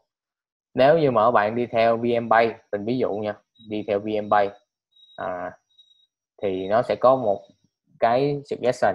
Nếu bạn đi theo hướng containerize thì nó sẽ có một số cái suggestion. Thì uh, mình sẽ chia sẻ như sau. Đầu tiên á, là đối với cái nên dùng cái cloud nào á nếu bạn mới startup nhỏ mình nên là các bạn đăng ký những cái gói mà hỗ trợ doanh nghiệp của cloud nào cũng được nha. Thì uh, mình thấy Amazon nó hỗ trợ cho bạn có thể là từ 2.000 tới 2.000 rưỡi trong vòng 2 năm á là bạn chỉ cần đăng ký cái đó thì nó sẽ gọi hiện xác thực một số cái gì đó. Thì nó sẽ cho bạn một cái code cái code nó giảm giá cho bạn là nó ghi thẳng số tiền là bao nhiêu đó luôn rồi bạn xài mỗi tháng là nó sẽ trừ vô cái khoản đó. Thì đại khái là cũng đỡ được phần nào còn uh, những cái thằng khác thì mình không rành. Nhưng mà mình biết là nó có cái code cho mấy bạn. Nếu như mà bạn là một cái startup business thì đăng ký với nó nó sẽ cho bạn. Còn uh, cá nhân mình thì cloud nào sử dụng thì nó cũng có ưu nhược điểm khác nhau giống nhau của nó hết thì cái nào cũng tùy thôi. Chứ không có hàng nào là tốt nhất không có hàng nào là dở nhất hết. Cá nhân mình thấy vậy. Rồi cái stack nào tiết kiệm chi phí ban đầu? Thì như nãy mình nói nó có hai cái mô hình là VMBay hay là Containerize đối với VMBay chẳng hạn thì uh, mình nên sử dụng cái mô hình là uh, tại vì cái này là startup rồi nên là nên nên sẽ có mô hình là một cái LB rồi nó đẩy xuống một cái target group auto scale group long term left là các bạn có thể là làm như vậy thì khi mà các bạn xét thêm một số cái condition nữa nha. Nếu như mà cho phép lớn thì tự động nó scale lên. Hai ba con bốn năm con gì đó. Khi nào cho phép xuống thì bạn để xuống là một con thôi hai con. Nếu mà production đó thì nó sẽ tiết kiệm chi phí. Rồi à, ngoài ra thì mình nên tách ra những cái nhỏ nhỏ không nên để trong cái con đó. Thay vì à, đổ độ ổn định. Ví dụ database khi mà bạn mà có nghĩ tới cái chuyện mà scale ra rồi đó thì nên tách những cái service khác ra hết chứ đừng có bỏ chung một con. Giống như là anh em đã làm trong Memento là trên con nó cài Redis rồi cài MySQL tùm la. Nhưng mà anh em cài như vậy á, thì scale out ra nó không được. Đó là lý do nên tách ra tách ra cái chỗ đó. Thì ờ, nếu như mà mới start up luôn mà bạn đi từ code lên đó, bạn chưa có gì hết đó thì tiết kiệm nhất là bạn dựng một con xong sau đó bạn cài hết mọi thứ lên đó. Rồi bạn đi từ từ từ từ từ. Rồi lên staging lên hai con. Để làm chi? Để bạn chắc chắn là cái lỗi của bạn không gặp phải cái chuyện mà như mình nói á, là một con quất mà hai con không quất á. Lý do là transaction rồi upload đồ code đồ thì staging lên hai con. Để bạn thấy được là những cái code mà bạn sẽ không thấy ở trên một con, có những cái lỗi.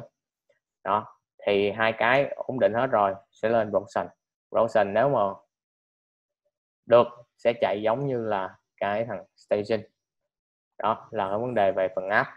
Rồi, nếu bạn sử dụng database thì có thể xài chung một con RDS nhưng mà khác schema cũng được. Khi nào mà cảm thấy uh, mình có tiền lên Roxen là muốn tách ra thì các bạn tách sau cũng được. Còn không thì con RDS cho ba cái environment luôn cũng được. Đó là mô hình tiết kiệm tiền. Mà nhớ là uh, nên có nên nên mô hình là nên có con LB thường là application load balancer. Xong trỏ xuống những cái type group trong ở trong đó sẽ có những cái cái con cái con instant của mấy bạn uh, long template uh, và auto second group để dựng lên nó. Cái mình nói nãy giờ là cái stack của hàng Amazon nha. Còn cái môi trường khác á, thì nó cũng như tương tự như vậy nhưng mà cái từ ngữ nó sẽ dùng khác. Rồi không biết là cái câu trả lời của mình có có phù hợp với anh không anh không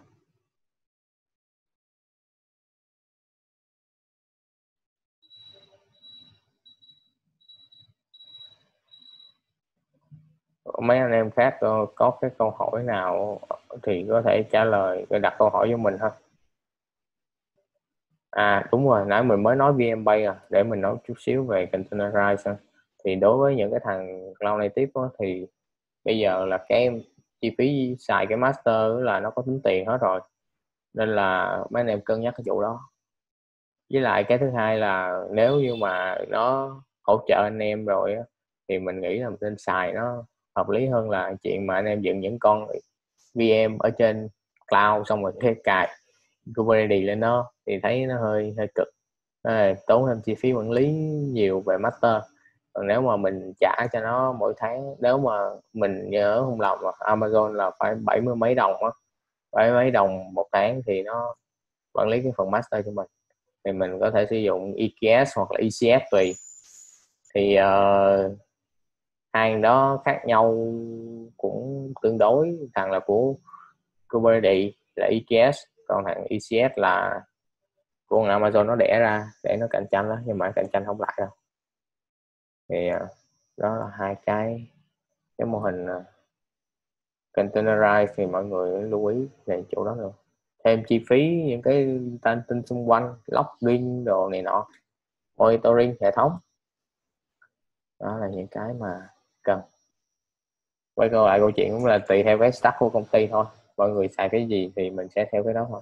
Tại vì thường thì DevOps họ không có một số công ty họ không có được cái quyền quyết định cái stack đó. Họ chỉ là đưa ra solution rồi suggestion thôi. Rồi còn chuyện làm hay không thì có thể là test lead và CTO là những người liên quan. Nhưng mà thường á, thì DevOps làm việc với test lead nhiều test lead với BM nhiều. Developer thì ít hơn chủ yếu là mấy anh em nhờ hỗ trợ support debug này kia kia nọ. Đó. Thì uh, đó là những chia sẻ của mình. Khi mà mình làm việc chung với mấy anh em developer thì thấy nhiều những cái chuyện như vậy. Thì sẽ mới thấy được đó là uh, thì ra thì họ không có biết những cái mà mình đang làm. Không có biết rành lắm về cái hệ thống tập nên là họ sẽ có những cái gặp trở ngại như vậy. Nên là khi mà nếu như mà người sau họ có có người khác nữa cũng gặp đối trang vậy thì mình biết cách rồi đó. Thì mình chỉ cần nói họ nhẹ nhàng vậy vậy, vậy anh kiểm tra vậy vậy là ra cái vấn đề. À. rồi. Bây giờ sau cái buổi chia sẻ hôm nay mọi người có thể tự tin là đi apply vào cái à, vị trí này rồi ha. Và mấy anh em khác có câu hỏi gì cứ tự nhiên đặt cho mình ha.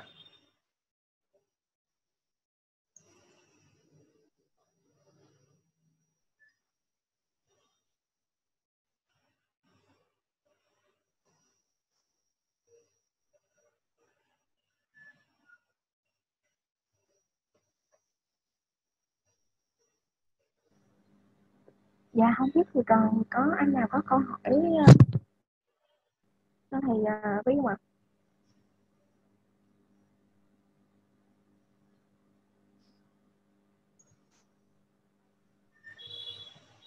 Ờ, nếu không thì nếu như anh không có câu hỏi thì hiện tại là trong cái danh sách đăng ký á, thì cũng có mấy anh đang có một số câu hỏi đó, thì chắc là em nhờ Hiệp Vi giải đáp giải đáp một số câu hỏi ở đây luôn nha anh nha. Ok ok. Dạ có câu hỏi của anh Nguyễn Trường Sơn là anh có gửi câu hỏi về là làm thế nào để tích hợp quy trình kiểm tra uh, kiểm tra QA về à, vào CI/CD anh? À, cái này á dễ lắm. Cái này cực kỳ dễ luôn. À, là QA QC gì đó thì nó sẽ có comment nó sẽ cũng quay trở lại là câu chuyện nó sẽ có comment để chạy một cái lệnh gì đó để xuất ra cái gì đó. Thì là mình sẽ hỏi mình uh, sẽ hỏi xem là QA họ cần cái gì. Thường á là cái process nó sẽ là khi mà có pull request từ một cái brand nào đó vô cái brand mà mình chắc ví dụ như là develop hoặc là stage hoặc là staging á, hoặc là master thì nó sẽ chạy một cái comment để check.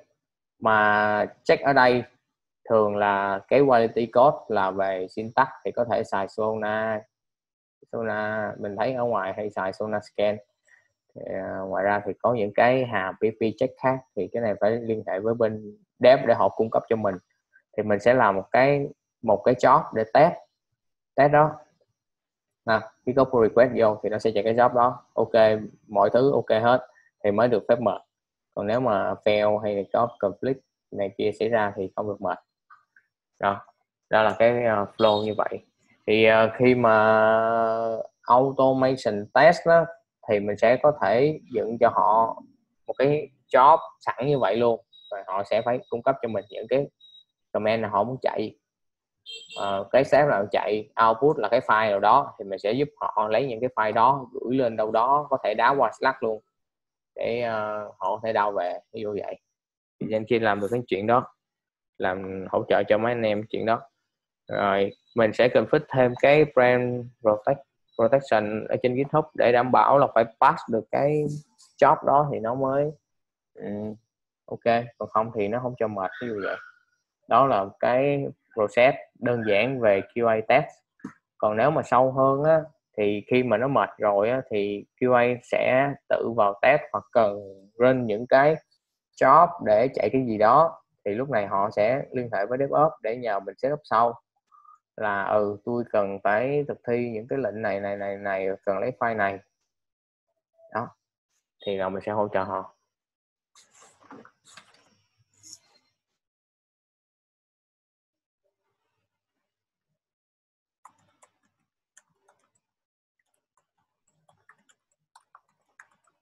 Dạ rồi thì chắc là um, câu hỏi tiếp theo từ câu hỏi tiếp theo của của anh Lê Trường Sơn có để lại là từ system admin định hướng sang DevOps thì nên tập trung vào thứ gì trước tiên thì anh đã học với Docker, Kubernetes, Git, GitLab ở mức độ basic rồi thì mình nên tập trung cái gì thì chắc là em xin mời thầy Vi để trả lời câu hỏi này ạ. À à thì câu hỏi này là nãy là mình thấy cũng đa số mấy anh em đều đều hỏi câu này nên là nãy trong cái bài present của mình là mình có nói cái vấn đề đó thì là khi mà các anh em làm từ system admin mà định hướng qua DevOps á, thì đầu tiên á, mà mình nghĩ quan trọng nhất á, là cái mindset thứ nhất là mindset soft skill á. các anh em phải nhớ là à, bình tĩnh tại vì à, developer họ không có suy nghĩ được như là operator à, mấy anh em làm system. Nên là có những cái họ không biết. À, nhưng thứ hai là mấy em developer thường á họ, họ sẽ nghĩ là cái code họ luôn đúng. Tại vì họ test local rồi nên họ nghĩ là họ luôn đúng. Nên là khi mà có sự cố hoặc có conflict xảy ra giữa hai bên á thì bên đó thường hay có cái giọng điệu voice nó cao hơn là bên bên mình nên là mấy anh em thứ nhất cái điều quan trọng nhất là mindset mấy anh em phải bình tĩnh. Mấy anh em phải có cái soft skill tốt. Rồi cái đó là phần thứ nhất. Cái thứ hai á, là nếu như mà anh em thực sự muốn là bé bóp về technical mấy anh em nên tập trung vô đâu. Thì đầu tiên là phải hiểu được một cái ngôn ngữ lập trình nào đó. Hiểu thôi mình không cần, cần anh em phải tới mức độ là code được như họ. Mình chỉ cần hiểu đấy là đọc code của họ hiểu coi code họ làm gì. Nó làm gì nó làm tới đâu nó bỏ gì xuống đi tới đâu. À, là nếu mà anh em system admin á từ hướng system qua thì nên làm những cái điều đó. Cái thứ hai là biết cái thứ ba là biết nên biết thêm một cái cloud native nào đó. À. rồi rồi còn lại thì cứ tự tin và đi apply thôi thì giống như mình chia sẻ nãy giờ là có công ty á, sử dụng Amazon có công ty thì sử dụng à, Azure. Thì ở trong đó từ ngữ nó khác nhau. Nhưng mà cái technical architect ở trong á, đều tương tự nhau hết không khác gì hết. Nếu như mà ở bên cái chỗ mà công ty mình làm nó đang xài VMBase thì cái Docker của mình lên á, thì hơi mệt hơi mệt còn nếu như mà nó đã containerize hóa rồi thì Docker và Kubernetes nó phù hợp liền. Thì như mình nói là cái anh em học rồi cái anh em ra đi làm tùy theo cái stack nữa không phải là mình quyết định được đâu. Nên là cứ tự tin cứ apply thôi không vấn đề hết. Cái quan trọng nhất như mình nói là cái mindset cái uh, soft skill đó, đó nó quan trọng lắm. Tại vì khi mà ra mà có issue hay là có conflict gì á điều đầu tiên các anh em phải chuẩn bị tinh thần đó là cứ lôi đầu để bóp ra là nó chữa trước hoặc là anh em phải có trách nhiệm trước nó kêu trước à, mặc dù nó không phải lôi mình à, nhiều khi nó chen code gì đó build fail cái nó hỏi ê bóp sao tự nhiên build fail vậy? Đó mày có chen gì không? Đó. vui vui nó vui vui là vậy á. À, mặc dù mình không có chen gì. À, tại vì họ không biết được họ không biết được cái chuyện đó. Đó mà ừ, rồi cái thứ hai cái nữa mình thấy quan trọng là à, cái uh, technical không đúng không? Còn mấy anh em phải hiểu thêm. Khi mà anh em đã hiểu được những cái này là anh em có mindset hết rồi nên là không cần nói nữa. Thì uh, mình nghĩ là cái tiếp theo là mấy anh em nên cố gắng trao trao dồi cái tiếng Anh đó tại vì khi mà làm DevOps thì có một số cái là cần phải nói chuyện với lại à, có thể là BM hoặc là client gì đó ở nước ngoài rồi các anh em phải đọc đọc bằng tiếng Anh chẳng hạn. Đó, thì à, cố gắng thêm cái đó là chuẩn cuối cùng là tự tin là đi làm thôi. Không có gì hết. Rồi, không biết là mấy anh em khác có có câu hỏi gì nữa không? Như câu trả lời của mình có ok với lại anh chưa?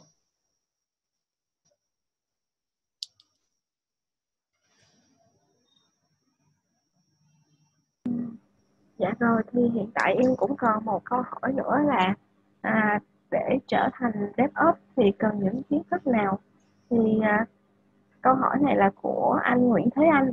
Thì có gì thì à, thầy Vi có thể là share lại cái cái roadmap á, share lại cái roadmap rồi có thể giải thích hoặc là nót lại những cái thông tin với cái kiến thức mà để cần trở thành DevOps mình cần kiến thức nào cho anh Thế Anh anh Vi nha.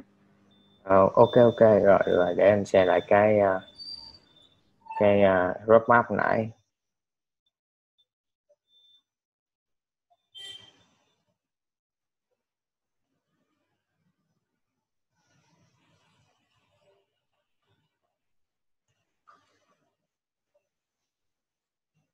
Rồi mọi người thấy cái màn xe mình rồi đúng không? Rồi mình sẽ nhắc lại cái roadmap này. Thì uh, cái roadmap này á là roadmap chung của DevOps thì nếu như mà bạn muốn chơi DevOps bạn muốn học cái gì á, thì phải coi bạn đang đứng ở đâu. Nếu như mà bạn đang đứng ở cái cạnh là sysadmin hoặc là cứng về bên system lên á à, network lên á thì à, các bạn cần phải trau dồi thêm về cái developer skill de, develop skill coding skill. Rồi um, coi là cái uh, infrastructure as code đó, nó viết như thế nào nên học những cái đó.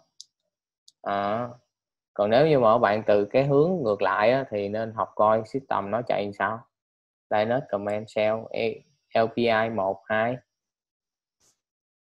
CentOS hoặc là Ubuntu tùy.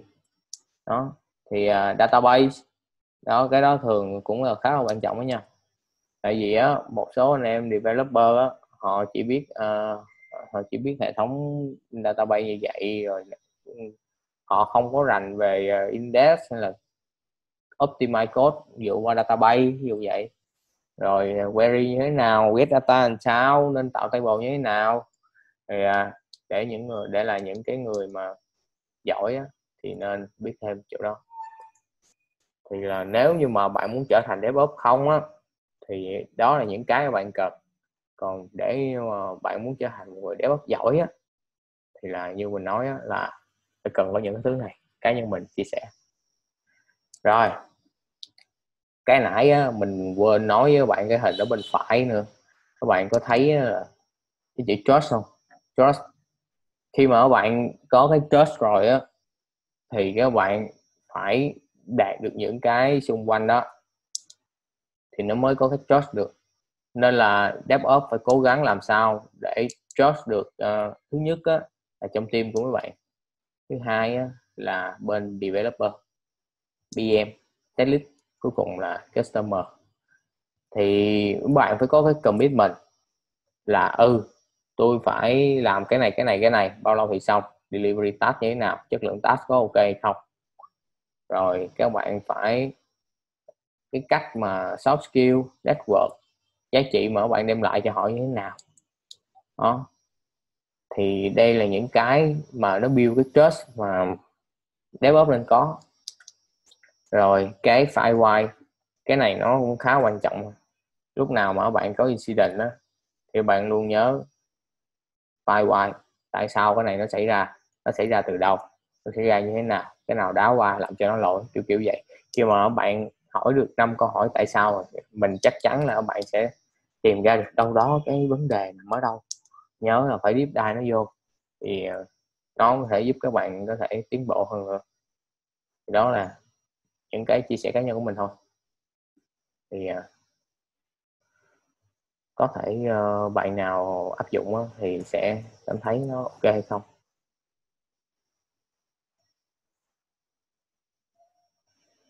À một số cái kiến thức mà chưa được đề cập tới trong phần roadmap này.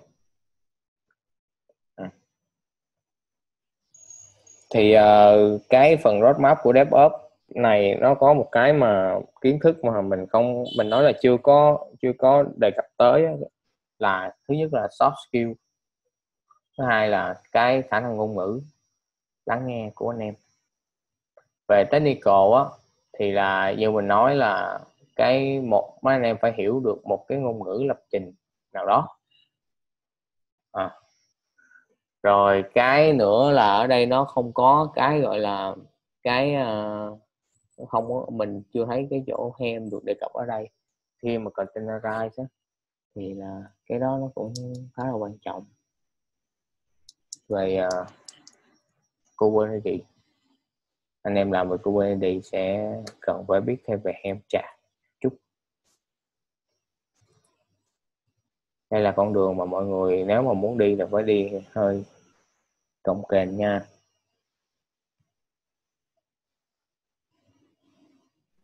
Q nữa. Ở đây mình không thấy nói về cái Q luôn. Không biết có cái Q không hay là mình không ở trên này thì không có cái Q này. đúng rồi. Mấy anh em phải biết thêm xíu về cái Q stack Q uh, cầm, ID là consumer rồi uh, nó gọi là gì mình quên mất rồi. Là đại khái là một thằng đẩy vô một thằng lấy ra. Nó có cái thuật ngữ của nó là consumer với lại ờ, uh, worker thì vậy không nhớ. Đại khái cái đó. Rồi thêm cái khái niệm về worker là gì? Đó là những cái mà mình thấy ở ngoài hay gặp.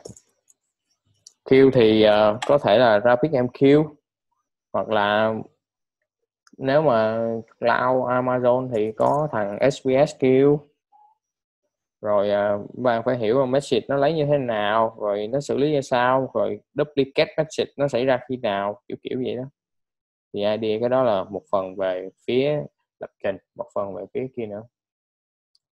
Đúng rồi publisher consumer, đúng rồi. Nó khái niệm uh, khái niệm nó vậy nhưng mà từ nó có hai loại hai hai cái từ khác nhau mà mình quên mất rồi. Một cái là publisher cái consumer cái là worker với lại cái gì đó quên rồi. Búp súp. Reddit nó sẽ có thể sử dụng kiểu kêu đó luôn nó gọi là búp sub cái cache đó thì đó là những cái mà anh em nên hiểu cái ờ, uh, kêu này nó cũng quan trọng lắm nha chứ không phải giỡn đâu. Đó là vấn đề về message tại vì khi mà anh em đã chia nhỏ service ra rồi đó sẽ có cái thằng đứng để quản lý coi cái việc là anh em đã xử lý cái đó chưa thì nó sẽ đẩy một cái message lên queue rồi cái message đó lên queue nó sẽ được quản lý như thế nào? Cái thằng nào nhảy vô lấy cái message đó thì message đó sẽ mất đi. Nhưng mà nếu mà cái thằng lấy message nó xử lý xong á mà nó trả lại queue là có thằng khác vô lấy nữa thì xử lý ờ, sẽ bị duplicate, hoặc là hàng đó đang xử lý nửa chừng mà nó chết message nó có trả lời kêu hay không, hay là message nó mất luôn. Thì cái, mấy cái này là mình phải biết thêm xíu, rồi debug debug và message nó có gì đó hay không, flow như thế nào. Được, chủ yếu là cái mindset mô hình đó là mình hiểu là được. Đó là cái phần mà mình thấy nó bị thiếu trong này dạ rồi thì không biết thì... à cái về cái kiến thức distributed system á thì uh, nếu mà các bạn muốn đọc về cái này á, thì mình có mấy cái sách để mình chia sẻ cho. Về uh, mô hình mà nên. Thì như mình nói là cái xu hướng rồi xu hướng là nó chạy cái gì tắt công ty của bạn chạy cái gì. Chứ nhiều khi là mình uh, mình đề xuất cái mô hình đó nhưng mà không có được thực thi không được sử dụng được kia các bạn á, làm cái gì nhưng mà nó nó sẽ đi theo cái hướng như vậy nè. Có thể là VMBay hoặc có thể là containerize cũng được. Nó sẽ chia nhỏ ra để nó dễ quản lý. Là một thứ hai là nó sẽ đảm bảo được tính scalable nghĩa là nó có thể bung ra nhiều con được. Rồi ờ, uh, bung ra bung lên được bung ra được mà không bị lỗi. Thường những cái này á là không phải mình mình làm không mà mình có thể phải làm chung với lại cái uh, bên developer nữa bởi vậy đó là lý do tại sao mà mình nói là những cái meeting mà đầu spring á mà cần những cái planning rồi bên đó nó cần phải thêm implement những cái này cái kia cái nọ vô á thì DevOps nên niềm vô vô để biết được là y mới làm cái này đúng hay không em mình làm cái kia đúng hay không ai đi như vậy là sai rồi dù vậy nên là vậy vậy vậy vậy vậy. Để hai bên tránh mất thời gian của nhau. Tại vì dev á, họ không có hiểu được cái vai trò của DevOps nên là tại vì mình cái mình làm toàn ở dưới mà ta không có thấy được cái cái công sức mà mình bỏ ra. Nên là dev nó thấy cái task nó thích làm cái nó làm theo cái idea của nó cái nó làm không được nữa cái nó bị block ở đâu đó cái nó kêu anh ơi anh giúp em làm này với cái mình nhảy qua mình nhìn thì mình thấy là ừ, nếu mà làm theo hướng này mình fit cho nó cũng được nhưng mà không ai làm gì hết tao phải làm theo cái mô hình này chẳng hạn. Đó thì lúc này cái mình nói nó nếu mà ông nội nào dễ nghe thì ông nghe lời mình ông sửa lại code họ ông nội nào cứng đầu thì nói dạ anh chỉ cần sửa cho tôi thôi tôi làm tiếp phần này rồi. Đó thì sẽ xảy ra lại câu chuyện là à, cãi lộn nhau nó có, có complete đó thì cái vai trò của DevOps chỗ này quan trọng chỗ đó. Cái mô hình mà mình hiểu á, là mọi người nên biết được cái những cái kiến thức về nó. Ví dụ như là như nãy mình nói á, là để uh, khi mà bên developer đưa ra cái idea hay này kia là mình biết được là nó phù hợp hay không nó có đáp ứng hay không. Có nên uh, xử lý hay không? Hay là nên nhà họ phải sửa lại này kia kia nào? Tại vì khi mà các bạn đáp ứng được cái nhu cầu đó rồi á, bạn chạy containerize hay là VM bay gì á, thì cũng phải scale out nhiều con mà. Scale out với lại scale in, scale out mà.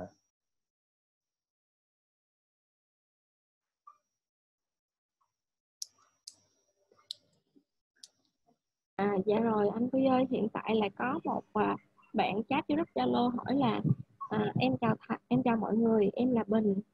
Em có câu hỏi muốn tham khảo ý kiến của thầy Quy về phần Cloud OpenStack. Liệu trong tương lai 3 năm tới nữa thì có sánh ngang cùng với AWS với Azure không ạ? Vì em thấy những mảng nguồn mở thời điểm hiện tại nó đang rất là phát triển. à à câu hỏi này nó khá hay nhưng mà mình xin chia sẻ một chút xíu. À, thứ nhất là mình không phải là businessman nên là mình không biết là cái OpenStack này là liệu vài năm nữa có nào đứng sau nó hay không. Mình không biết. À, cái thứ hai về OpenStack với lại cloud với lại Azure á thì à, nó sẽ hơi khác nhau chút xíu. Cá nhân mình đứng ở cái cạnh góc nhìn của mình ở chỗ là OpenStack Cloud các bạn tự dựng lên bạn dựng hết luôn bạn làm hết mấy chuyện đó luôn còn à, cái thằng Amazon với Azure á, là các bạn à, kiểu như là nó bán service cho mấy bạn các bạn xài. Cái thằng Amazon nó phát triển là có hệ thống server bare metal đằng sau nó cực kỳ khủng khủng khủng khiếp luôn và Azure cũng vậy. À, hệ thống data center nó đảm bảo chuyện ha cho các bạn. Rồi à, nó đảm bảo luôn cái chuyện là những nhiều zone rồi cross region mọi thứ thì cái thằng OpenStack á hiện tại á, nó chỉ là open source thôi. Nếu mà bạn tự build trong hệ thống local với bạn thì ok vấn đề gì nhưng mà để để mà cạnh tranh hay là những cái vấn đề xung quanh sau đó nó có những cái lỗi rồi này nọ thì các bạn phải tốn công thêm phần manage nữa. Thì cái đó là tùy theo cái resource công việc của bạn và như mình nói là bạn có muốn làm cái này hay là làm cái kia. À, ngay cả cái thằng Amazon mình chia sẻ một chút xíu là mặc dù nó có hệ thống data center rất là khủng bố rồi multi à, uh, AZ rồi uh, cross zone đồ lum la nhưng mà có một đợt nó, nó chết cả một zone ở uh, Frankfurt Frankfurt nó chết cả một zone luôn. Là nó multi zone nhưng mà nó chết hết một zone là các bạn hiểu là nó khủng bố cỡ nào đó. Mà cái đợt đó là do là anh em setup á, là mọi thứ đều chạy multi zone hết. Nên là nó không có bị ảnh hưởng. Là nguyên cái zone đó là các bạn thấy là con EC2 nó bị có vấn đề luôn, không connect được, chết hết luôn. Thì nó có báo là nó bị sập hệ thống gì đó. Một cái zone zone C, mình nhớ là zone C, nó chết hết luôn. Con nào mà, hai con mà nằm trên zone C là chết hết. Thì à, cái này cũng là kinh nghiệm nếu mà anh em setup mà cloud thì nhớ thêm mấy cái vụ mà chọn nó ở những cái AZ khác nhau để đảm bảo tính available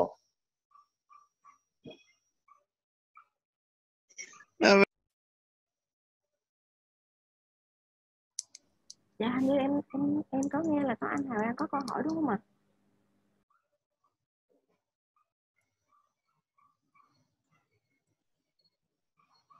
à, hiện tại trên room mình có anh nào muốn đặt câu hỏi cho thầy Vi nữa không ạ À? Mọi người cứ tự nhiên có vấn đề. Nếu mà mình biết thì mình sẽ trả lời trong cái tầm kiến thức hiểu biết của mình. Ngày xưa mình cũng có làm open stack nhưng mà khi mà làm open stack mà tự build á thì à, nó sẽ tốn công mà manage nó cái hệ thống lên. Và nếu mà so sánh giữa OpenStack á, thì trên lúc mà mình làm là open stack trên là Elemental á thì nó có nhiều cái solution khác mà nó xài. Ý là mình cần xài những cái đó thì xài những thằng khác nó ổn định hơn. Và nó như đó là đủ rồi không cần phải tên lên overstack làm gì. Thì à, khi mà tìm hiểu và làm thì mới thấy được những vấn đề đó. Tùy đó, tùy mình mà cái thằng OpenStack là nó gom được một đống những con server kiểu như cùi, cùi, cùi gom lại thành một cái stack rồi với nhau. Cái sau đó mình dựng cloud lên mình chạy. Elemental thì đó mình làm gì đó thì uh, cũng cài Nova cài đâm lá. Xong rồi quản lý nó cũng hơi cực. Cái này nó phù hợp với cái gì? Cái này nó phù hợp với lại những cái uh, công ty bự á, công ty bự á, mà uh, những con server mà nhờ nhiều á, thì nó xài. Còn uh, cái lúc đó thì mình dùng một cái solution khác là mình xài EC thôi là đủ rồi đủ đáp ứng được nhu cầu của mình rồi không cần phải dùng cái OpenStack OpenStack thì tất nhiên là nó vẫn còn sử dụng á. Tại vì một số thằng ở đây á, một số công ty á, họ không được phép sử dụng cái cloud à, Amazon hay là đặt server đặt ở nước ngoài. Họ buộc phải có cái gì đó đặt ở Việt Nam chẳng hạn. À, thì uh, họ build cái hệ thống đó. Nhưng mà cái phần maintain nó khá cực đó mấy bạn. Maintain cái OpenStack cực đó dạ rồi thầy ơi hiện tại thì thời gian của mình sắp hết á hiện tại là em còn à, ba câu hỏi thì chắc chắc là thầy có thể là chọn một trong ba câu hỏi à. em có có thể gửi lên cho thầy được không? Dạ được. Thì uh, em nói sơ nha là hiện tại là uh, có một câu hỏi là làm thế nào để phát triển với tư cách là một kỹ sư DevOps? Uh, và em nghĩ là câu này thì chắc là anh nó hỏi là à, hướng đi của kỹ sư DevOps là mình sẽ tương lai mình sẽ làm được những gì và hướng tương lai nó cũng như thế nào còn câu hỏi thứ hai là à, làm thế nào để thể hiện kỹ năng DevOps của mình với nhà tuyển dụng? Và câu hỏi cuối cùng là làm cách nào để chuyển đổi từ kỹ sư công nghệ thông tin sang DevOps thì chắc là thầy chọn một, một trong ba câu hỏi thì mình trả lời như thầy nhé. À, cái câu đầu tiên á, thì nãy á, trong cái slide mình có chia sẻ xíu về cái phần roadmap ấy career path á, là uh, anh em cứ lên là mới vô junior standard rồi senior rồi senior cộng cộng. Rồi tới là technical architect. Cái uh, mấy anh em thấy những cái ngoài có những cái title mới tuyển dụng dụ như là SRE Site Reliable Engineer thực ra thì cũng công việc nó cũng tương tự thôi. Đó. rồi um, khi mà anh em lên tới vị trí đó rồi nó sẽ có rất là nhiều hướng nhưng mà đại khái là mình nó có hai hướng. Một là management một hướng là technical nếu mà anh em theo hướng về kỹ thuật đó, thì anh em sẽ trở thành một expert chung cái đó luôn. Ví dụ như là chọn một cái hướng mảng của mình thôi. À, mình sẽ đi sâu vào cái đó trở thành chuyên gia. Còn nếu mà đi theo hướng rộng ra quản lý nữa thì sẽ trở thành CTO và technical architect. Anh em sẽ vẽ ra solution vẽ thôi nha. Mình không phải làm mình chỉ là người vẽ thôi. Rồi anh em ở dưới mới là người làm. Đó là những cái những cái đó mà để vẽ ra được thì anh em tất nhiên là phải biết được những cái đó rồi, hoặc là ít nhất là cũng đã trải qua nó rồi nên là mới có kinh nghiệm để giảm đưa ra propo cái sự sành đó là ừ, có nên là vậy không, có nên là vậy kia không, có lợi điểm nào, có không có lợi điểm nào. Thì cái người mà vẽ ra thì người phải nắm được hết những cái đó. Chứ mấy anh em mà vẽ bậy ở dưới nó không có implement được là mệt lắm. Hoặc là có vấn đề gì nữa, đó, thì mình phải có kiến thức cứng. Đó rồi uh, cái mà thể hiện kỹ năng DevOps của mình với nhà tuyển dụng như thế nào á, thì như mình nghĩ là cái này cũng tùy à. nhưng mà ít nhất là nếu mà anh em muốn tuyển được vị trí DevOps á, em phải hiểu được vài cái. Ví dụ anh em phải biết được cái Git. Git là gì hoạt động sao xài sao. Thứ hai à, là cái thằng uh, Jenkins hoặc là một cái tool nào đó CI/CD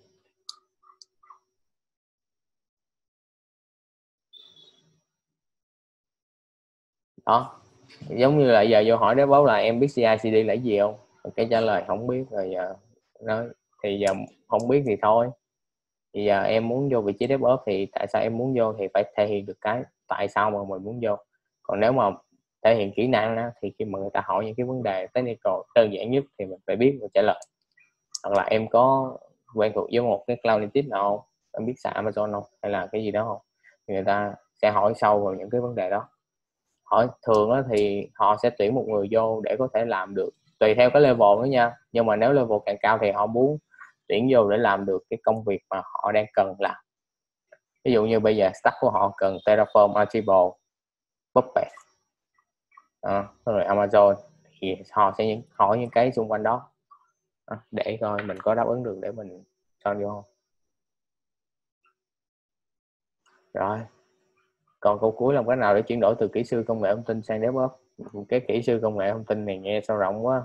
Ừ, anh cũng không biết nữa. Nếu mà rõ hơn thì à, nó chi tiết hơn. Mà đại khái giờ em muốn chuyển đổi thì em cứ apply được vô vị trí DevOps thì em vô em làm thôi. Thì nếu như mà không biết gì thì mình sẽ apply vị trí uh, có thể là junior hoặc là intern. Giờ có cũng có một số công ty tuyển intern DevOps thì mình vào mình lấy kinh nghiệm mình coi coi DevOps đang làm gì. Xong rồi sau đó thì mình sẽ leo từng bước từng bước từng bước lên. Tùy theo cái khả năng của mình. Đang là mình đang ở đâu. Đó. Giống như anh cũng là kỹ sư công nghệ mình cũng là kỹ sư công nghệ thông tin nè. Ngoài rồi cái cái uh, title nó ra đi làm thì nó cũng tùm lum tà la thôi. Nên là mọi người thích thì cứ chuyển đổi thì cứ apply mạnh dạng vào chứ lúc mà mình mới ra trường á đồ của mình là à, gì uh, engineering mà làm về phần cứng đó mấy bạn. À, lập trình chip mạch đồ lum la. Đại khái vậy. Thì cũng nhảy từ từ từ thôi. Còn ai mà muốn thì chưa làm thì bữa nay sau buổi này hy vọng là tự tin thêm. Mình sẽ tiếp cho mấy, mình đã tiếp cho mấy anh em chút sức mạnh tự tin đi phỏng vấn vị trí đấy bác ha.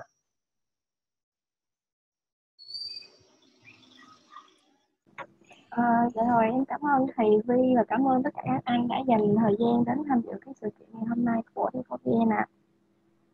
Thì hiện tại thì T4VN sẽ có uh, những phần quà để gửi tặng cho các anh đó thì uh, để hỗ trợ cho các anh trong cái việc mà tìm hiểu về uh, lĩnh vực DevOps của mình hơn. Thì hồi nãy giờ thì cũng có một số anh tương tác với bên mình đó thì chắc là em nhờ thầy Vi sẽ chọn cho em uh, khoảng hai anh để em gửi cho các anh đó voucher để học tất cả các khóa học của bên T4VN voucher trị giá một triệu như thầy Vi nha. ừ.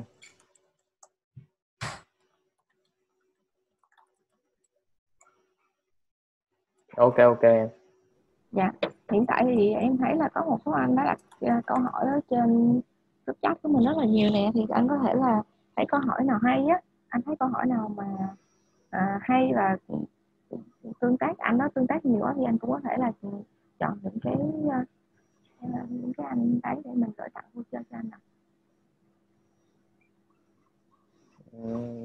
từ trên xuống dưới ha à, anh có thấy được anh có thấy được cái đó không thì anh thấy có cái câu là uh, của quyên tất gì nè? Quyền tất có anh nó có hỏi về sự cố khi mà build deploy rotation đó dạ à, anh thấy anh đó không khá hay. Với lại một anh là cái vấn đề mô hình nào mà chưa được đề cập ở trong cái roadmap đó. thì uh, cái này cũng khá quan trọng về cái cái roadmap mà mình chưa có thì nãy uh, anh có chia sẻ về cái Q á. Thì hình như là anh Trung iPad thì là đó là hai người anh cảm thấy là có câu hỏi nó hơi dài chút dạ đó là anh ờ, anh Trung và anh ờ, quyền. và anh Thất Vĩ Quyền ạ. đúng Hiện rồi đúng rồi. anh Trung ơi hiện tại thì trong danh sách của em á là tới tới hai ba anh Trung lận. Không biết thì anh Trung có thể chia sẻ họ tên đầy đủ của mình được không anh?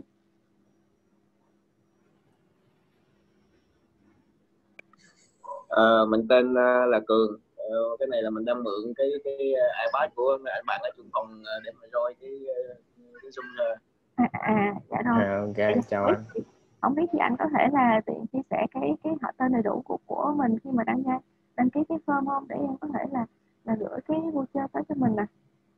Ờ, lúc mình đăng ký mình đăng ký tên là, là Lê Việt Cường á. À, Lê Thị Cường.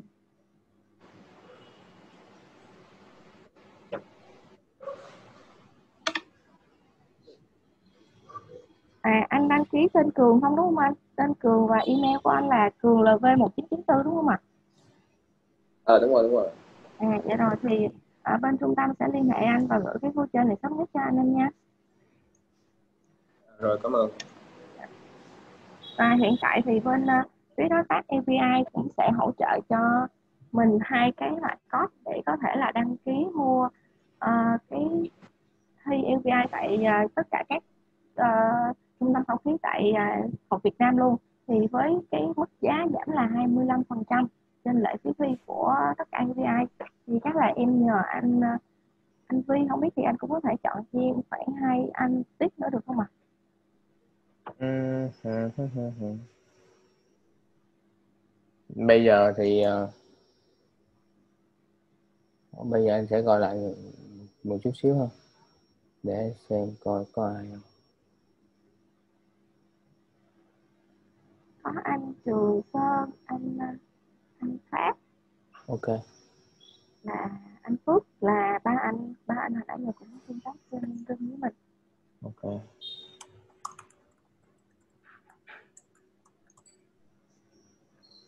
Ừ. Dạ rồi thì à, hiện tại là có ba anh là anh Phước anh Phước anh Phát và anh Trường Sơn. Chắc là em sẽ hiện tại thì chắc là em sẽ gửi cho anh à, ba anh, trong ba anh thì anh nào có nhu cầu và liên hệ với LVI đó thì à, hãy liên hệ em để em có thể là gửi cái mã code này cho các anh. Còn à, anh nào không có nhu cầu thì em cũng sẽ hỗ trợ cho các anh là để gửi cái voucher. Em sẽ gửi thêm một cái voucher, học tất cả các khóa học tại em với giá trị là một triệu luôn nha. Thì em sẽ hỗ trợ thêm một cái phần quà nữa để cho các anh hôm nay đã tương tác rất là nhiều tại cái sự hôm nay ạ. à anh phát HDT á. Thì không biết là anh phát với cái mình vẫn là cái tên của mình đăng ký trên trên danh sách là phát phát với email là phát dt 379 đúng không ạ? Không biết anh phát còn on room không ạ? À, khoan xí thì ơi giờ anh tắt record được chưa thi? Dạ được rồi cảm ơn. À, dạ rồi thì em sẽ liên hệ với với anh